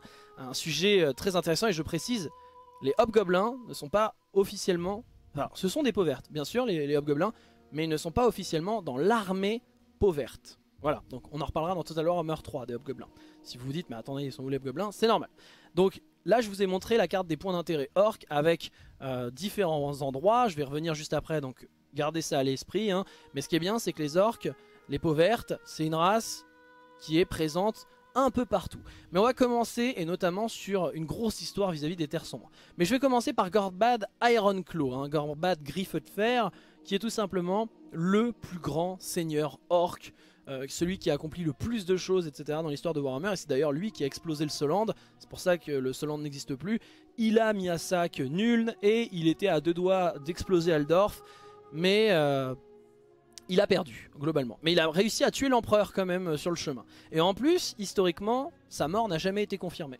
Donc Gorbad Griffe de Fer, c'est assez intéressant comme personnage. Surtout que d'un point de vue gameplay pur, c'est l'un des seigneurs orcs les plus connus. Et en plus de ça, il est spécifique aux costauds et surtout aux sangliers. C'est surtout, il est très connu pour ses chevaucheurs de sangliers. Donc ça permettrait d'avoir un gameplay vraiment unique. Sachant que j'en profite d'ailleurs parce que la plupart du temps on n'y réfléchit pas. Mais en fait, si vous regardez, vous prenez un peu de recul, à l'heure actuelle, il n'y a pas de véritable chef, il n'y a pas de véritable seigneur orc. Et vous allez dire, mais n'importe quoi, qu'est-ce qu'il raconte? Grimgor, c'est un seigneur orc. C'est un orc, mais d'une faction spécifique. Orc noir. C'est une peuplade orc, les orcs noirs. Vous allez me dire, bah il y a Urzag du coup. Urzag, c'est un orc sauvage. Et en plus, c'est un chaman, c'est pas un seigneur combattant orc. Or, les orcs, on les connaît pour être des bœufs. Et, et là, vous allez me dire, bah du coup, Azag. Mais Azag, c'est le comte vampire orc presque. D'ailleurs lui aussi il pourrait potentiellement euh, participer à l'éveil de Nagash. Donc au final, on n'a pas de véritable seigneur orc, puisque les autres c'est des seigneurs gobelins ensuite, qui effectivement eux sont plus dans l'idée du gobelin. Donc seigneur orc pur, on n'en a pas. Donc ce serait un, chef orc qui serait basé vraiment sur les, chevaucheurs de sangliers et les costauds. On pourrait amener toutes les lignées, euh, toutes les, on va dire toutes les variantes des costauds et des chevaucheurs de sangliers et potentiellement un petit peu à l'image d'Eltarion ou Eltarion ou Elsarion euh, des hauts elfes avec des unités vraiment spécifiques à lui-même euh, qui serait la garde de fer ou je sais pas quoi, des mecs, des costauds vraiment particuliers. Mais en plus de ça, comme c'est censé être, moi c'est mon personnage préféré aussi, parce que justement c'est un orc qui réfléchit. Vous allez me dire, Azag réfléchit, c'est plus Nagash qui lui souffle à l'oreille ce qu'il faut faire. Même si j'adore Azag. Pour le coup, Gorbad, c'est un vrai stratège. Si le mot peut exister pour un orc. C'est un mec qui réfléchit. Et pour le coup, c'est ce qui fait aussi qu'il a été aussi efficace d'ailleurs. Et il a une... Il est très connu aussi pour son utilisation des gobelins, en tant qu'éclaireur, en tant que, que à canon, enfin, et surtout, enfin même pas chair à canon justement, en tant qu'utilisation de flanqueur. Donc c'est vraiment un grand stratège. Et pour le coup, eh bien ça permettrait à Gorbad potentiellement d'ajouter aussi des unités Goblins qui peuvent manquer. Donc il y a plusieurs manières de l'amener et Gorbad honnêtement pourrait tout à fait sortir à différents endroits. Il pourrait l'envoyer directement dans l'Empire, il pourrait l'exiler dans les terres sombres en mode bah voilà il a été bloqué un petit peu l'image de Grom euh, la panse, hein, vous savez le, seigneur gobelin sur char qui se retrouve dans des endroits un peu YOLO parce que bah, l'idée c'est qu'il il, se remet de ses blessures, tout ça tout ça. On pourrait tout à fait imaginer un peu un, traitement similaire avec euh, Gorbad. Et pour ceux qui me posent la question, bah oui mais Gorbad sur le papier il est censé être mort donc c'est n'importe quoi, Azag aussi. Et pourtant il est là Azag. Vlad est mort. Et Creative Assembly a déjà dit qu'au niveau timeline, Parfois, ils vont faire des petits raccourcis pour ça les arrange. Réponse, Jeanne de Lyonesse, pareil, elle est censée être morte depuis longtemps. Donc, c'est pas du tout la même période, pas du tout la même époque. Donc, Gorbad n'est pas du tout un problème à ce niveau-là, et au contraire. Et en plus de ça, Grimgor, Grimgor, qui est tout simplement le personnage classique des orques, commence au Black Crag, hein, le, le, rocher noir, j'ai oublié le nom en français, et cet endroit-là, c'est pas du tout canoniquement un endroit où Grimgor est, en fait. Si vous vous intéressez un peu à Grimgor, Grimgor, il vient du nord et du nord-est. C'est notamment un orque noir, et la, la particularité des orques noirs, c'est que c'est une création des nains du chaos, et ce sont des esclaves des nains du chaos qui se sont libérés de leur chaîne pour fuir les nains du chaos. Il y a toujours des orques noirs au sein des nains du chaos d'ailleurs, mais Grimgor est connu pour avoir brisé ses chaînes. Et on peut être le Spartacus euh, face aux nains du chaos. Du coup, Grimgor, tu peux beaucoup plus, et il a une grosse rivalité avec les nains du chaos, du coup, tu peux beaucoup plus le renvoyer vers l'endroit où canoniquement il est, c'est-à-dire le nord et l'est, à savoir soit les terres sombres face aux nains du chaos, soit les terres sombres on le repositionnerait au nord à Karakungor. Je vais vous mettre, euh, je vais vous mettre la carte, qui est tout simplement le nord, là où Azag à l'heure actuelle commence. Et ça pourrait être l'occasion par exemple soit de laisser donc Grimgor à Karakungor et Azag se serait, redéplacé et pourquoi pas par exemple serait envoyé euh, vers le pays natif d'Azag, à savoir le pays des trolls donc qui est à la frontière entre Kislev et Norska, ça permettrait d'avoir une nation pauverte au niveau de Norska, soit Azag reste à Karakengor, ce qui n'est absolument pas un problème d'ailleurs hein, d'un point de vue cohérence, euh, même si Grimgor a été un temps là-bas, et sinon Grimgor tu le fous à un autre endroit de son histoire, c'est à l'est des Nains du Chaos, et surtout au niveau des montagnes des larmes, entre les terres sombres et Katei, Là où il a fait aussi pas mal de, pas mal de choses, le petit Grimgor. Donc ce serait l'occasion de replacer Grimgor et ça permettrait euh, au Black Crack de récupérer ses maîtres historiques. Soit Gorbad, alors Gorbad n'est pas un maître de Black Crag mais c'est juste à côté, c'est le Rocher de Fer qui à l'heure actuelle n'est pas une province principale, enfin qui n'est pas une chef de, une capitale de province, donc ils pourraient faire leur propre province d'ailleurs. Soit donc on met Gorbad qui est juste le voisin, soit d'ailleurs on met quelqu'un d'autre, on met notre cher Gorfang Rodgut, qui à l'heure actuelle, un peu comme Boris Todbringer, est un personnage spécifique qui est unique, personnage unique, légendaire, enfin semi-légendaire on va dire, et au final ce personnage là c'est lui qui normalement possède le Black Crag, hein, donc euh, le rocher noir ou Karak, euh, j'ai oublié le nom en main, euh, c'est tout simplement lui, Gorfang Rodgut. Gorfang Rodgut qui est connu pour être un orc avec une épée, ce n'est pas forcément très commun chez les orcs, vous allez me dire Azag, c'est vrai, mais Azag il a une hache et une épée d'ailleurs, Gorfang lui est connu pour avoir une énorme épée, et euh, Gorfang a une énorme rivalité avec les nains et notamment le roi Cazador de Karak Azul. Et ce qui est très intéressant avec Gorfang, bah, c'est qu'il se positionne un peu au niveau de, tout ça et il a beaucoup de liens notamment aussi avec les gobelins puisque c'est un peu le meilleur allié de Skarsnik ils vivent ensemble et ils pillent les nains ensemble hein. ils vivent enfin vivent c'est des voisins donc gros lien avec les gobelins et il pourrait amener aussi les, les, unités gobelines qui manquent, notamment je pense aux chasseurs de gobelins de la nuit de Squig, les Squig géants et les Squig à chaîne, les Squig géants à chaîne. Ça pourrait être aussi, euh, voilà, l'occasion de ramener tout ça. Et des petites unités Forge World et tout, c'est très très sympa. Ensuite, on a un autre personnage qui cette fois est Gobelin. Et personnellement j'avais adoré ayant grandi avec la V4 V5 ce genre d'unité moi je les trouve exceptionnelles et la V4 V5 c'est la période la plus prolifique j'ai envie de dire pour les gobelins des forêts. Alors vous allez me dire ouais la V8 ils ont ramené quand même pas mal d'unités de gobelins de la, des forêts. Ouais mais il n'y avait pas le gobelin standard en fait. Le gobelin des forêts standard il n'était plus là. Et donc ramener un seigneur qui est pas de la V4 V5 d'ailleurs mais qui est de la, de la, de la V8 pour le coup Snagla Seigneur des gobelins des forêts, avec tout le roster gobelin de la V4, V5, mais aussi V7, V8, donc tout le roster gobelin des forêts, avec notamment les chevaucheurs d'araignées géantes, et vous allez dire, bah, ils sont déjà en jeu les chevaucheurs d'araignées. Non, non, en fait il y a chevaucheurs d'araignées et Ragnarok. Mais normalement il y a un entre-deux qui s'appelle les araignées géantes. Ce sont des araignées un peu de la taille d'un troll en gros. Plus petits que les Arachnorok, plus grands que les araignées qu'on a. Donc ça pourrait être super intéressant d'avoir les araignées géantes qui serviraient aussi de nouvelles montures. Un nouveau seigneur et nouveau héros gobelin pour le coup des, enfin, des forêts, hein, le gobelin des forêts, toute, l'infanterie gobelin des forêts qui serait potentiellement un peu fufu comme euh, les igouillards mais euh, avec euh, du coup bah, tout le délire gobelin des forêts, attaque empoisonnée, création, potentiellement une petite invocation de mini araignées dégueulasses etc. Donc ça ça pourrait être très très cool avec leurs alternatives et autres et pourquoi pas même des igouillards des forêts, enfin ce genre de truc, il n'y pas de, a pas de souci à ce niveau là. Donc ça ce serait vraiment un truc à part. Et euh, donc euh, moi j'aime beaucoup, j'aime beaucoup ce système, ça pourrait être très très sympa. Maintenant ce personnage là pourrait arriver aussi, Snagla pourrait arriver aussi en tant que héros euh, auprès par exemple d'un Gorbad Griffeux de Fer et tous les gobelins des forêts arriveraient avec Gorbad qui est très lié à l'Empire. Hein. Gorbad son objectif c'est de détruire Aldorf hein, quasiment, donc ça pourrait être très intéressant à ce niveau là aussi. Et ça pourrait être l'objectif c'est de récupérer Aldorf en étant à l'est, etc. Et pareil, lui, on pourrait le foutre dans les forêts du nord de l'Empire, voire potentiellement en Orska, et son objectif ce serait de récupérer une zone qui a été créée spécifiquement pour lui, en plus c'est la fosse noire. Euh, qui est l'endroit spécifique aux araignées, aux gobelins des forêts, etc. avec les araignées des forêts. Donc il y a vraiment matière à faire avec les gobelins des forêts. Euh, d'ailleurs, j'en profite d'ailleurs, je vais, je vais remettre Gorbat parce qu'il y a un truc aussi qui est super important. C'est qu'à l'heure actuelle, il manque les versions pour pouvoir jouer un peu RP.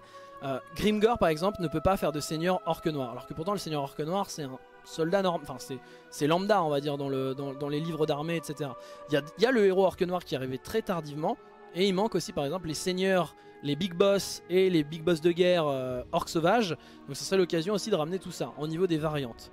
Ensuite, puisque j'en parlais des orques noirs, alors lui ce serait pas un seigneur mais un héros à mon sens, c'est euh, Borgut Facebeater, donc euh, qui s'appelle en français Borgut Éclat de Pif, qui est le bras droit euh, de Grimgor et qui est un petit peu son champion.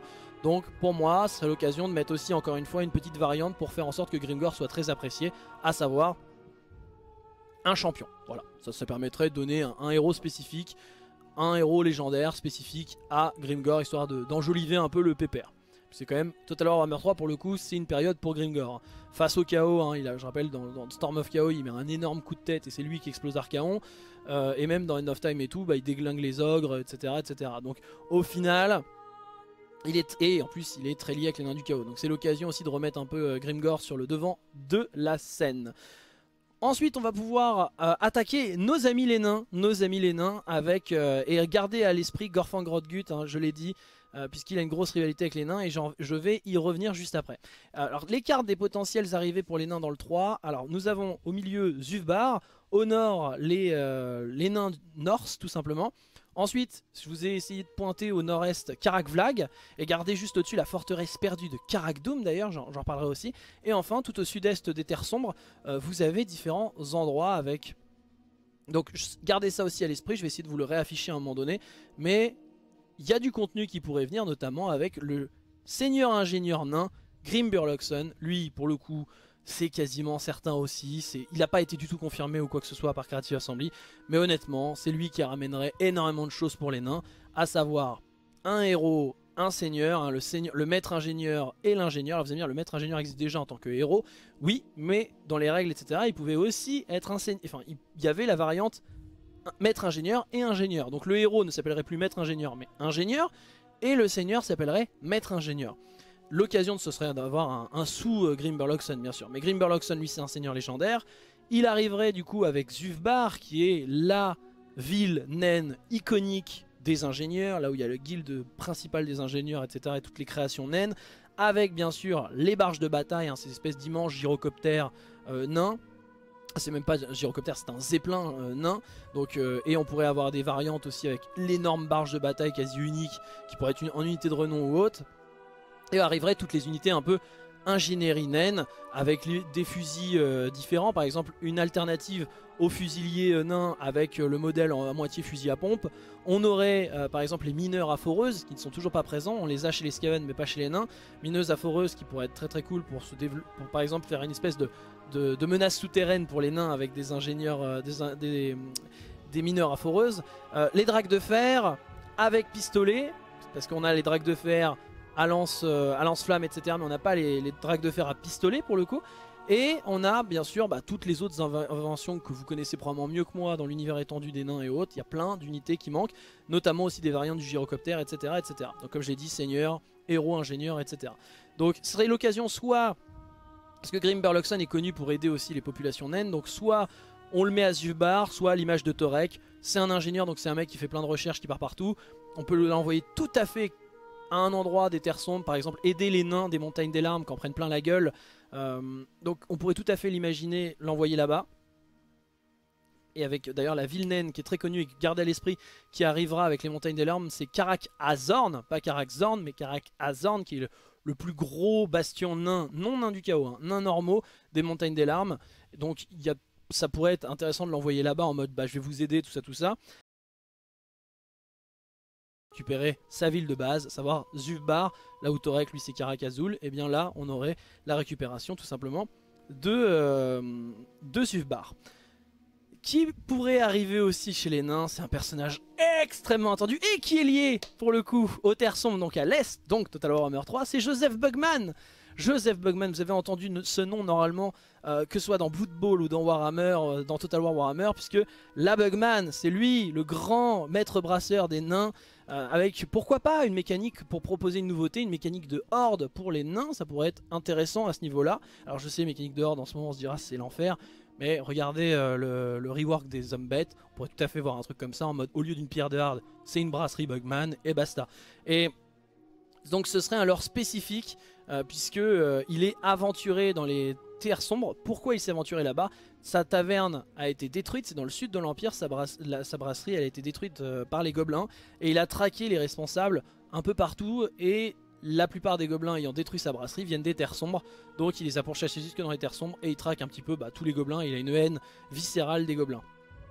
Par exemple, il pourrait sortir en tant que seigneur légendaire face à Snagla par exemple qui pourrait, il pourrait associer, parce qu'on ne connaît pas les responsables de la, de la destruction de la brasserie il pourrait tout à fait évoquer que Snagla a eu un rôle à jouer dans la destruction enfin ce genre de choses et ce qui est intéressant c'est qu'il pourrait ramener avec lui bah, les rangers d'autres rangers, d'autres variantes des rangers des rangers mêlés aussi pourquoi pas pour les nains, mais aussi un héros ranger, pas forcément seigneur ranger parce que ça n'existe pas, mais un héros ranger, pourquoi pas, euh, un héros ranger qui serait un arbalétrier, un petit peu fufu, tout ça, tout ça, euh, et également, puisque bah, l'idée c'est une grosse vengeance, même si ce n'est pas un tueur personnellement, Joseph Bugman, il pourrait être accompagné de plein de sorties de tueurs, notamment le seigneur tueur et le héros tueur, qui sont tout simplement les tueurs de démons en tant que seigneur, et les tueurs de dragons qui sont les héros. Ce serait plutôt thématique avec Total Warhammer 3, des tueurs de démons. Donc ça, ça pourrait être aussi tout à fait compréhensible puisqu'il a, il a besoin de se venger. C'est vraiment l'optique d'un tueur de se venger d'un affront qui a été commis. Ensuite, en dernier seigneur légendaire, alors je le rappelle, hein, je sélectionne, déjà la vidéo va être très longue, donc je sélectionne une partie des seigneurs, bien sûr il y en a d'autres, mais c'est ceux que j'estime être les plus crédibles et qui pourraient apporter des choses d'un point de vue lore, d'un point de vue gameplay, euh, d'un point de vue on va dire euh, vraiment du jeu quoi, que ce soit lore ou gameplay. Et en l'occurrence, le dernier personnage que j'évoque c'est Cazador Thunderhorn, hein, que vous connaissez sous le nom de Cazador, tueur de dragon dans Total War Warhammer. Je sais pas pourquoi d'ailleurs ils l'ont mis tueur de dragon, Cazador. Cazador qui est le roi de Karakazul. Et vous allez me dire, bah oui, mais non, parce que c'est Torek, Karakazul. Bah en fait, l'un pourrait euh, confédérer l'autre, il euh, n'y a pas de souci à ce niveau-là. Euh, c'est un peu le même délire avec Malus Darkblade par rapport à Malekis, etc. Genre, c'est pas. Alors vous allez me dire, oui, mais là c'est vraiment la même ville. Oui, bon, on s'en fout en fait, genre. on s'en fout, genre, c'est pas un problème ça. Cazador pourrait tout à fait confédérer euh, Torek et inversement Torek pourrait confédérer Cazador. C'est pas du tout un problème à ce niveau-là. Et Cazador, du coup, lui, il a une énorme rivalité avec Gorfang euh, Rodgut. Euh, non, Gor j'ai dit quoi? J'ai dit Gorfang Rodgut, oui ça. Il a une énorme rivalité avec lui. Pourquoi? Parce qu'en fait, bah, son fils a été, pendant qu'il était parti chasser du gobelin dans les montagnes, Gorfang est le seul seigneur orc à avoir pillé Karakazul, hein, sinon ça, n'a jamais, euh, enfin a toujours tenu bon. Et en gros, il a pillé la zone, il a profané les tombes des ancêtres, etc. Et il a aussi rasé le fils de, euh, le fils de Cazador, qui ça l'a rendu d'ailleurs fou, le fils. Donc, généralement, c'est une rivalité assez énorme entre ces deux personnages là Et ça pourrait tout à fait arriver dans du free LC Sans pour autant ramener des mecs euh, légendaires ou quoi que ce soit Des unités légendaires etc Tu amènes juste jouable ces deux mecs là Avec une énorme rivalité. Ça pourrait tout à fait passer Et Cazador est déjà un, héros un seigneur semi-légendaire à l'heure actuelle donc euh, qui a des particularités spécifiques, des traits spécifiques et tout, donc ça pourrait tout à fait euh, très très bien fonctionner. Et Cazador pourrait aussi arriver avec la nouvelle, euh, enfin ça c'est pas Cazador pour le coup, mais il y a un autre seigneur, mais j'y crois beaucoup moins. Cazador en plus, dans son placement, il est parfaitement positionné pour le sud des terres sombres. Il a il est parfaitement positionné. En anti-scaven, en anti-orc et tout, enfin il est, parfait. Karakazul à l'heure actuelle c'est un Vietnam, c'est le point de rencontre, c'est le carrefour, c'est la croisée des chemins de toutes les races qui sont dans les terres sombres, dans les terres du sud, euh, dans les terres arides et tout. C'est vraiment un carrefour. Donc pour le coup, il est extrêmement bien positionné pour du Total War Warhammer 3. À côté de ça, on a Alric Ranulfson que je ne vois pas du tout sortir. Euh, mais c'est vrai que c'est un héros, c'est un seigneur assez connu chez les nains puisqu'il est le roi de Karak-Irn. En tant que roi de Karak-Irn, il est surtout connu en tant que figurine haute pour avoir la monture des nains. Et c'est quoi cette monture? C'est tout simplement les porteurs de boucliers. Il pourrait arriver avec cette variante, c'est la pierre de serment qui pourrait être un petit peu la machine mortis, euh, pourquoi pas des, nains un petit peu avec l'idée que euh, on aurait euh, des porteurs qui porteraient la pierre de serment. D'ailleurs, Casador sur le papier pourrait avoir un rework avec la monture de, pierre de serment, il montrerait des porteurs de bouclier mais qui porteraient la pierre de serment. Et s'il n'y a pas de monture, ce serait tout simplement un truc qui buff les potes, puisque c'est l'idée que voilà, quand tu vois ce truc là, t'es en mode bon, faut qu'on se batte les gars. Et surtout, les porteurs du bouclier, bah voilà, c'est des nains qui portent leur roi à la bataille, tout ça, tout ça. Donc ça pourrait être vraiment cool. Euh, moi j'aime bien l'idée, même si j'y crois pas du tout pour Alric parce que bah, c'est Karakirn et Karakirn tout le monde s'en fout, malheureusement. Ensuite, on a un héros nain qui pourrait tout à fait euh, sortir, c'est Malakai Mackayson. Je le vois en héros légendaire nain, Malakai Mackayson. Pourquoi? Parce que euh, c'est à la fois un ingénieur, donc il pourrait arriver dans le, DLC payant de Grimberluxon, mais il pourrait euh, également représenter les tueurs, donc être récupéré par tout simplement Karak et du coup le roi de Karak donc le roi tueur. Et ça, moi personnellement, je le vois. En plus, Malakai, dans son, histoire, il est connu pour voyager un peu partout et aider les nains qui ont besoin d'aide. Donc, je le vois très bien arriver et il pourrait arriver aussi avec cette superbe unité qui incroyable qui est la faucheuse à gobelins. Et la faucheuse à gobelins, c'est quoi? C'est en fait une espèce de, de baliste à répétition, sauf qu'elle lance des haches au lieu de balancer des carreaux. quoi. Et c'est une machine de dingue qui euh, envoie des haches, un petit peu comme, vous savez, les, distributeurs de balles au tennis là. Et bah ça, sauf que ça distribue des haches. C'est moins sympa. C'est plus dur à esquiver aussi. Donc... Euh, Malakai Mackayson, ça pourrait vraiment être le héros légendaire accessible à toutes les races, euh, enfin toutes les factions naines. Et honnêtement, ce serait super cool. Et il arriverait très très bien dans un DLC ingénieur, personnellement, je le vois bien comme ça. Sachant qu'il amènerait avec lui, bah du coup, pourquoi pas cette faucheuse à gobelins en unité et des unités spécifiques pour aussi un le rework, j'ai envie de dire, des tueurs quoi. Avec l'idée, c'est qu'à l'heure actuelle, bah, ils n'ont pas beaucoup d'accès. Euh, quand tu joues Karak Kadrin, t'as pas accès à énormément pour le roleplay d'unités tueurs. Sachant que avec le contenu Tempête du Chaos, hein, Storm of Chaos, on avait carrément toute une liste jouable pour jouer les, nains tueurs de Karak Kadrin. Avec bah, du coup l'artillerie, c'est la faucheuse à gobelins. Tu avais les tueurs tu avais euh, les seigneurs, euh, donc les tueurs de démons, les tueurs de dragons, euh, en tant que seigneur et héros. Tu avais du coup tout simplement Garagrim, qui est le fils, le prince de Karakadrin, qui est le fils d'Ungrim, le roi de Karakadrin. Donc lui par exemple, Garagrim pourrait venir en héros spécifique à Ungrim et à Karakadrin. Donc il y, a moyen de faire un truc incroyable. Et il y a aussi une unité qui est oubliée, c'est chez les tueurs, tu as l'espèce de fanatique gobelin, vous savez le mec qui tourne là. Et ben il y a un peu le même délire chez les tueurs. Donc ça pourrait être une alternative ou une unité spécifique d'ailleurs. Donc ça, j'ai oublié le nom d'ailleurs, peut-être que vous l'avez dans les commentaires, j'ai oublié le nom. Euh, mais donc c'est des tueurs avec, euh, au lieu d'avoir euh, une chaîne et un boulet, c'est une chaîne et une hache et ils tournent et ils tuent tout le monde. Et c'était des monstres sur le jeu de plateau. À côté de ça, on a bien sûr un repositionnement du nain blanc. Le nain blanc qui est très connu dans son histoire pour être anti-KO, anti-orc et anti-scaven. Sauf qu'à l'heure actuelle, à l'endroit où vous commencez, bon bah ouais, vous êtes anti-orc surtout.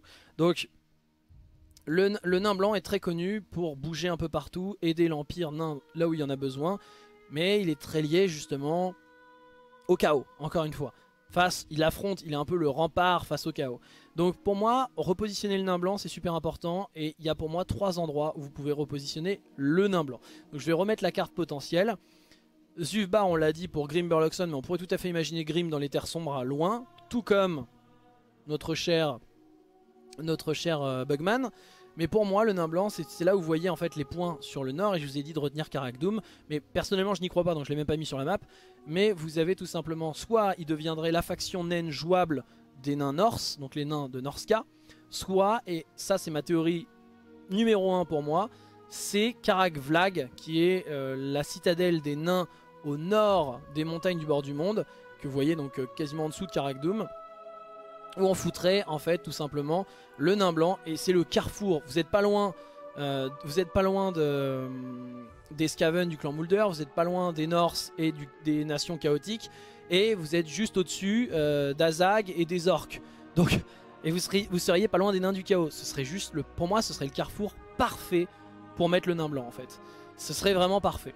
Mais deuxième option pour moi c'est les Norse et ensuite Karak Doom. Karak Doom personnellement je pense qu'ils mettront des nains mais des nains random en fait et qu'on n'aura pas de, de seigneur euh, spécifique. Les désolations nordiques, je pense qu'ils foutront un peu toutes les races qu'ils ont dans l'histoire qui sont liées aux désolations nordiques. Pourquoi pas repositionner Malus Darkblade par exemple aux désolations nordiques. Mais personnellement, je pense que ce sera, la faction naine qui se fera exploser tour 10 et basta, euh, Doom. Dans l'idée, c'est un peu ça d'ailleurs. Bon, ils ont tenu, un hein, très bon hein, les nains là-bas, mais je vois pas le nain blanc euh, start à Karak. Je le vois beaucoup plus à Karak Black. Ça serait beaucoup plus cohérent à mon sens. Euh, mais après on pourrait tout à fait encore une fois aussi le voir dans les montagnes des larmes pour le rapprocher un peu de Katei et mettre des nains vers Katei. Ce serait pas forcément déconnant. Encore une fois, la ville de Caracazorn pourrait également être évoquée.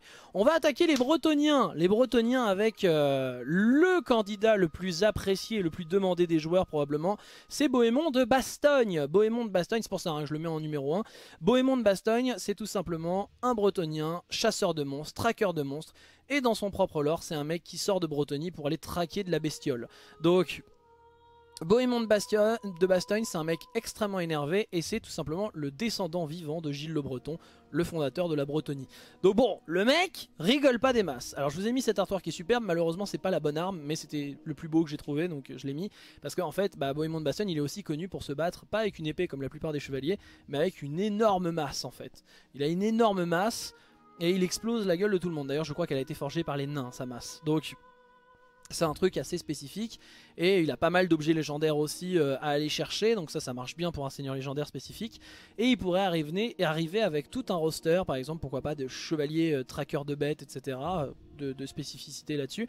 Mais surtout, il pourrait arriver avec, par exemple, des monstres pour les Bretoniens. Vous allez dire, mais des monstres bah, Un petit peu à l'image de Rakars chez les elfes noirs, il pourrait arriver un, petit peu avec sa ménagerie en mode bah voilà moi j'ai traqué ces monstres, j'en ai tué certains et d'autres je les ai gardés euh, pour moi euh, et donc il pourrait ramener aussi dans le roster une unité que j'attends depuis très longtemps personnellement chez les Bretoniens que je ne comprenais pas pourquoi elle n'était pas là quand j'ai commencé. Alors c'est parce que ça date d'un vieux lore de Bretonie, euh, c'est la V5 principalement, mais dans le lore ça existe aussi V6, V6, V7 mais elles n'avaient pas leurs règles, c'est-à-dire des chevaliers à pied. Alors chevalier à pied chez la Bretonie c'est un truc rare. Qu'on soit clair, c'est rare. C'est pas des unités. Euh, mais je me disais pourquoi, pourquoi ils y sont pas en fait. Pourquoi ils sont pas les chevaliers ermites Les chevaliers ermites, on pourrait tout à fait voir une unité avec peu de monde, genre une vingtaine de mecs, un petit peu comme les champions du chaos novices, là, les, petits champions du chaos à, 15 ou 20, je sais plus, bah, un peu dans la même idée, des chevaliers ermites qui soient pas capables de faire une frontline et que tu puisses pas aligner toute une frontline de, de chevaliers ermites. Mais l'idée c'est que les chevaliers ermites, c'est les mecs qui protègent les endroits un peu sacrés de la Bretonie, et du coup bah, ils sont à pied, ils sont pas à cheval puisqu'ils sont sédentaires en fait.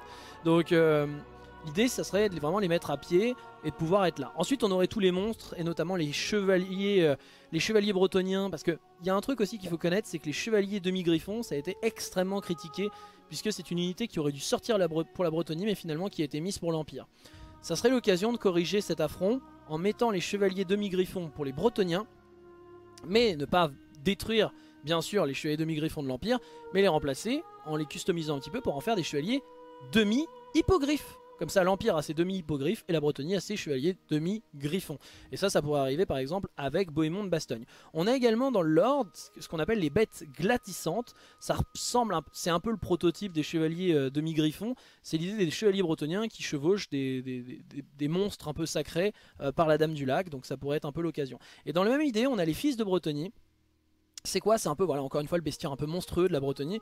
Les fils de Bretonie, c'est souvent des hommes fées. En fait, on connaît les dames, euh, les dames ou les servantes de la Dame du Lac, tout ça, tout ça. Et ben en fait, il y a aussi des, individus mâles et ils sont appelés les fils de Bretonie. C'est un peu des hommes fées euh, chevaucheurs de chevaux aquatiques. Alors c'est pas des hippocampes, hein, je vous arrête tout de suite, mais c'est des chevaux un peu aquatiques. Et l'idée, ce serait d'avoir ce genre d'unité un peu sacrée et en même temps un peu monstrueuse pour Bohémond de Bastogne, qui est un gros traqueur de bestioles. Et donc ça, ça pourrait être pas mal, sachant qu'encore une fois, il est tout à fait légitime pour partir en track bien loin de la Bretonie. Donc ça marche très très bien en termes de lore et de gameplay, et ramener des unités spécifiques. A côté de ça, on a un personnage qui est très demandé, et qui est quasi confirmé d'ailleurs par, euh, par Creative Assembly, c'est Bertrand le Brigand. Euh, le premier, ce serait le premier seigneur légendaire non chevalier pour les Bretoniens. Alors vous allez me dire, il y a aussi la Dame du Lac. Ouais, mais bon, la Dame du Lac, elle est liée aussi à la chevalerie, quoi. Alors que là, on aurait vraiment un mec du tout chevalier, un mec du peuple, qui est tout simplement la représentation de Robin des Bois et, euh, de euh, Thierry Lafronde, un petit peu dans l'idée, puisque Bertrand le Brigand, eh bien, il pourrait arriver avec tout un nouveau roster pour la Bretonie, à savoir beaucoup de mecs à pied, qui seraient des hommes d'armes de luxe, puisque euh, ce serait bah, le héros vagabond, seigneur pourquoi pas même vagabond, et tout, tout un roster d'unités de brigands qui s'appelle les, euh, les Sans Visages ou les, et les Erimo. C'est le nom, euh, le nom de, dans l'or hein, de, de, de, cette faction-là. En gros, ce sont des brigands, mais qui œuvrent pour le peuple. C'est pas juste des, brigands euh, dégueulasses, c'est des mecs qui œuvrent pour le peuple, etc. Et qui essayent de combattre l'injustice de certains chevaliers qui ont oublié leur serment de chevalerie. Donc c'est plutôt assez intéressant. Et ça pourrait ramener du coup le camouflage des espèces de rôdeurs bretoniens en fait qui pourraient ramener une, autre manière de jouer un petit peu la Bretonie. Sachant l'autre point aussi qui est très intéressant, c'est qu'à l'heure actuelle, c'est vrai que quand j'ai fait ces recherches, je n'y avais pas pensé, et euh, c'est euh, du coup Gilga qui m'en parlait, la Bretonie à l'heure actuelle n'a pas de héros permettant d'améliorer la reconstitution des troupes. Donc tu mets un Hérimo, qui serait un héros du coup, un vagabond, un peu un rôdeur, tu le mets en héros, et boum, tu as accès enfin à la reconstitution améliorée pour les Bretoniens. Et du coup, il pourrait arriver avec euh, ses propres mécaniques de gameplay et autres, et notamment il est connu pour ses deux autres compagnons, à savoir celui de gauche que vous voyez, hein, qui est euh, Hugo le Petit, et Guy le Gros, vous aurez la ref bien sûr, c'est euh, tout simplement Robin des Bois, hein, évidemment, donc avec Frère Toc, etc. Donc ça pourrait être vraiment très cool. Ensuite, en autre seigneur légendaire, parce que je voulais quand même en nommer, il y en a plusieurs. Il y a Tancred de Quenel, qui est tout simplement la némésis d'Henrich de, Kemmler, et euh, Tancred de Quenel, qui est assez connu dans l'histoire de, la Bretonie, hein, puisqu'il servait le, chevalier, enfin directement le baron de, de Quenel. On a également euh, Cassian de Paravon, donc qui dirige Paravon bien sûr et qui est connu pour sa spécificité, c'est d'être le grand chevaucheur, chevalier Pégase, spécialisé dans les chevaliers Pégase, etc., etc qui est un peu, qui est d'ailleurs le plus jeune bretonien à, être, euh, avoir été euh, fait chevalier du Graal, tout ça, tout ça. Ensuite, on a Théodoric de Brionne qui est assez classe en fait, puisqu'il est connu pour être euh, les chevaliers bourrins pour le coup, parce que vous allez me dire c'est des bourrins les chevaliers, mais lui il est vraiment un et bah, le symbole de Brionne c'est une hache et c'est les, les, symboles un peu teutoniques, donc c'est blanc et noir. Et l'idée c'est qu'il a une énorme hache plutôt que l'épée ou la lance. Donc c'est vrai que ça change un petit peu, c'est assez euh, stylé. Avec pourquoi pas aussi en rework le chevalier de Sinople. Parce que le chevalier de Sinople, bah, en fait c'est le premier véritable héros légendaire en fait du jeu, sauf que bah, maintenant c'est très vieillissant, donc ça pourrait être très très cool de le mettre en, héros légendaire. Et à côté de ça, il y a un personnage moi que j'aime bien et que j'ai redécouvert en, cherchant un petit peu des seigneurs qui pourraient être cool. Encore une fois, si un jour le DLC, enfin si le pack faction Arabie devait venir, devait voir le jour, eh bien il y a un seigneur bretonien qui est très très connu et qui est aussi inspiré du Robin des Bois de Kevin Costner et, euh, Morgan Freeman. C'est le baron Otto hein, qui euh, avait une baronnie du coup en Arabie, hein, après avec les croisades tout ça tout ça, et il a un Arabien qui le suit partout qui s'appelle Suleiman et euh, qui est justement un Arabien très positif. Hein. Des fois on dit que l'Arabie si elle peut pas sortir à cause de, c'est parce que c'est un cliché raciste tout ça tout ça. Dans le lore, euh, l'Arabie, il y a plein de mecs qui sont extrêmement positifs. hein. Et pour le coup, bah, Suleiman fait partie de ces Arabiens positifs. Et il, est totalement fidèle à, Otto. Et euh, du coup, les deux ensemble permettraient aussi d'avoir potentiellement des unités, par exemple, arabiennes en cas de sortie euh, de l'Arabie, pour avoir un, système un peu différent pour la Bretonnie. Donc ça, c'était pour les Bretoniens, même si encore une fois, il y a plus de chances qu'on ait Bohémond et Bertrand. Euh, à côté de ça, euh, on m'avait parlé aussi de Tristan le Troubadour en héros spécifique, mais personnellement je n'y crois pas des masses.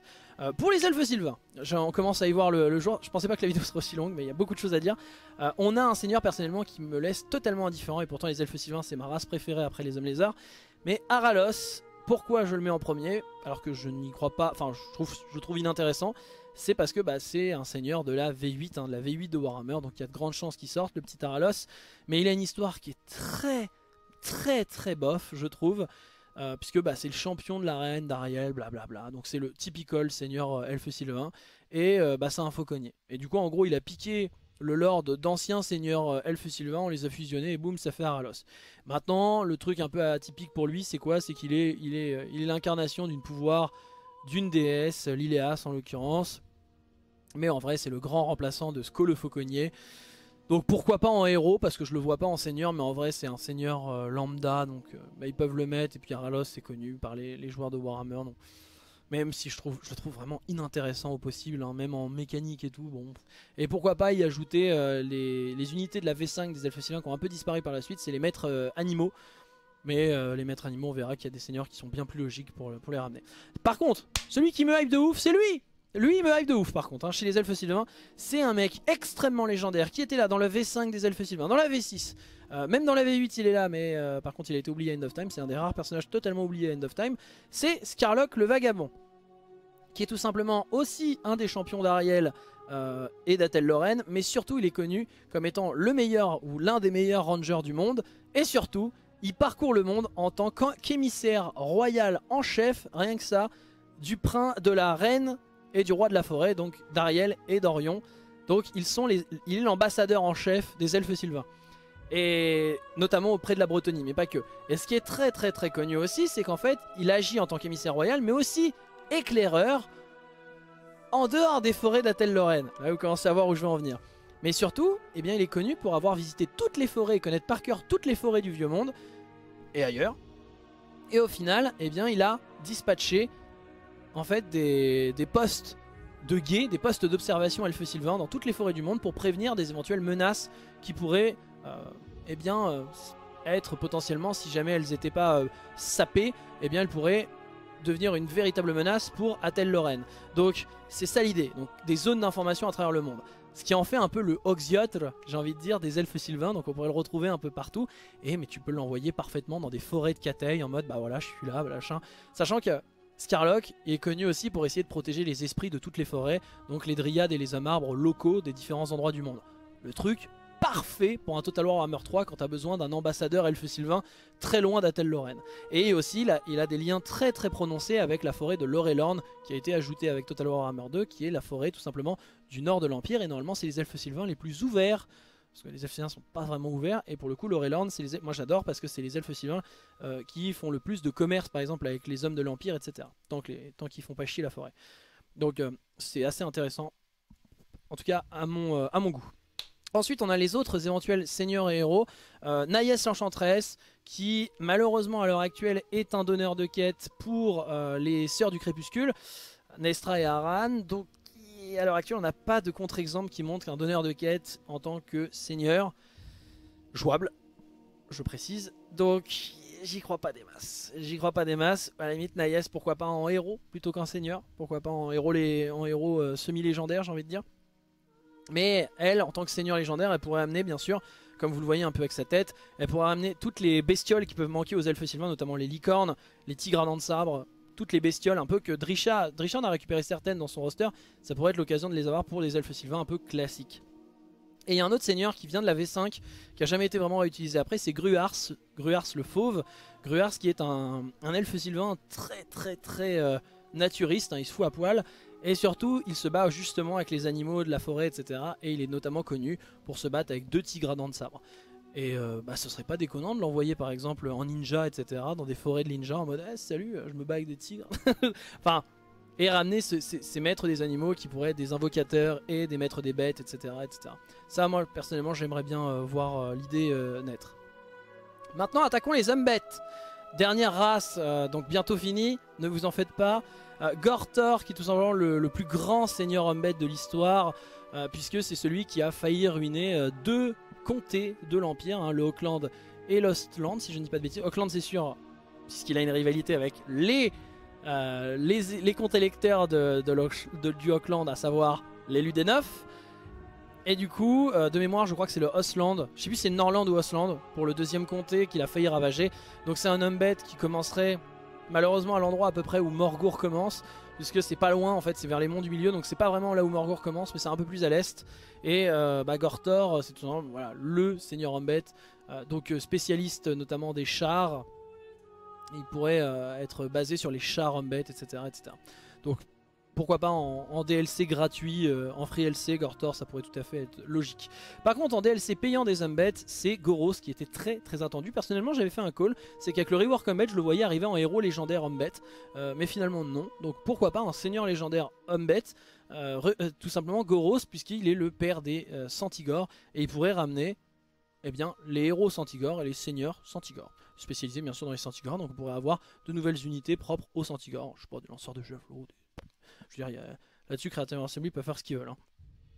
Et euh, pourquoi pas lui, mettre une, mécanique de pillage euh, avec les nouvelles unités de cavalerie, etc.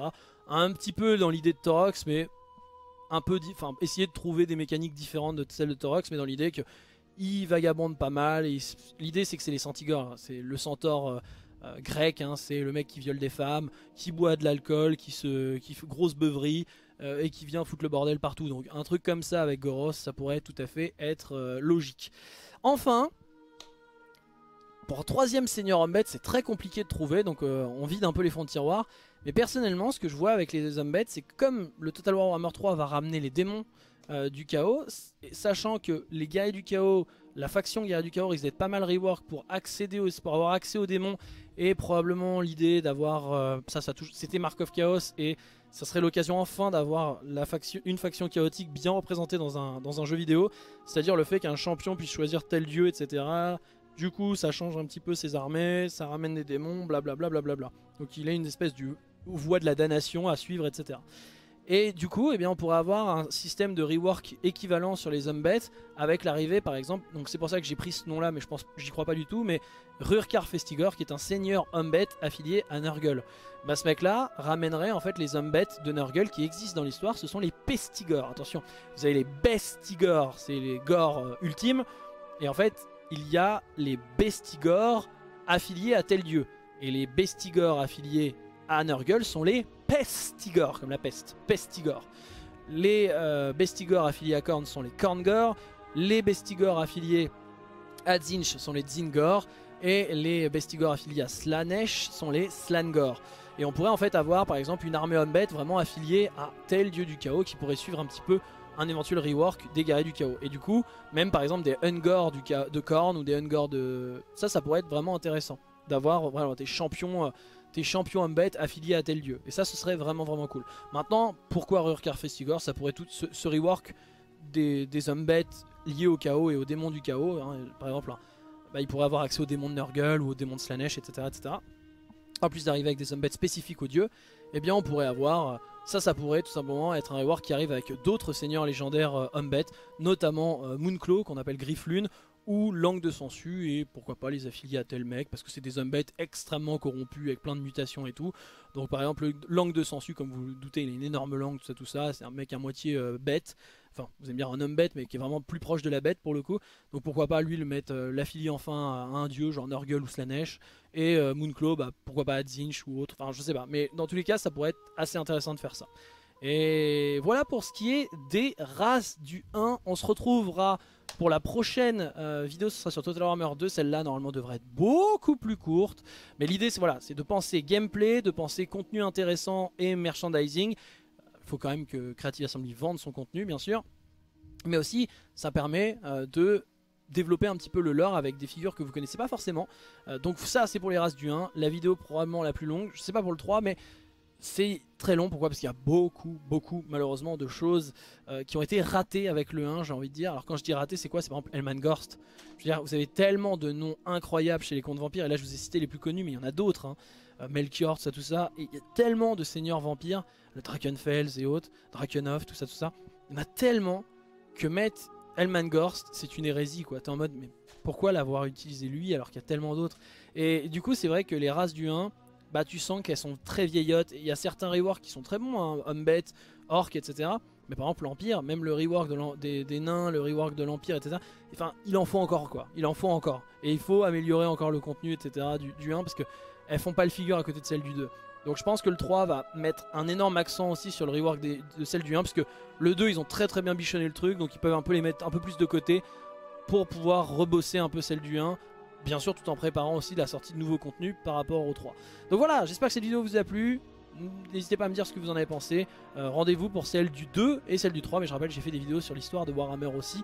Et merci encore, du coup, à l'aide de euh, Gergal, Gilgak et euh, du coup de Celtigon. Donc merci à, merci à ces trois viewers qui m'ont un petit peu aidé à faire cette vidéo. Je vous fais plein de bisous. A bientôt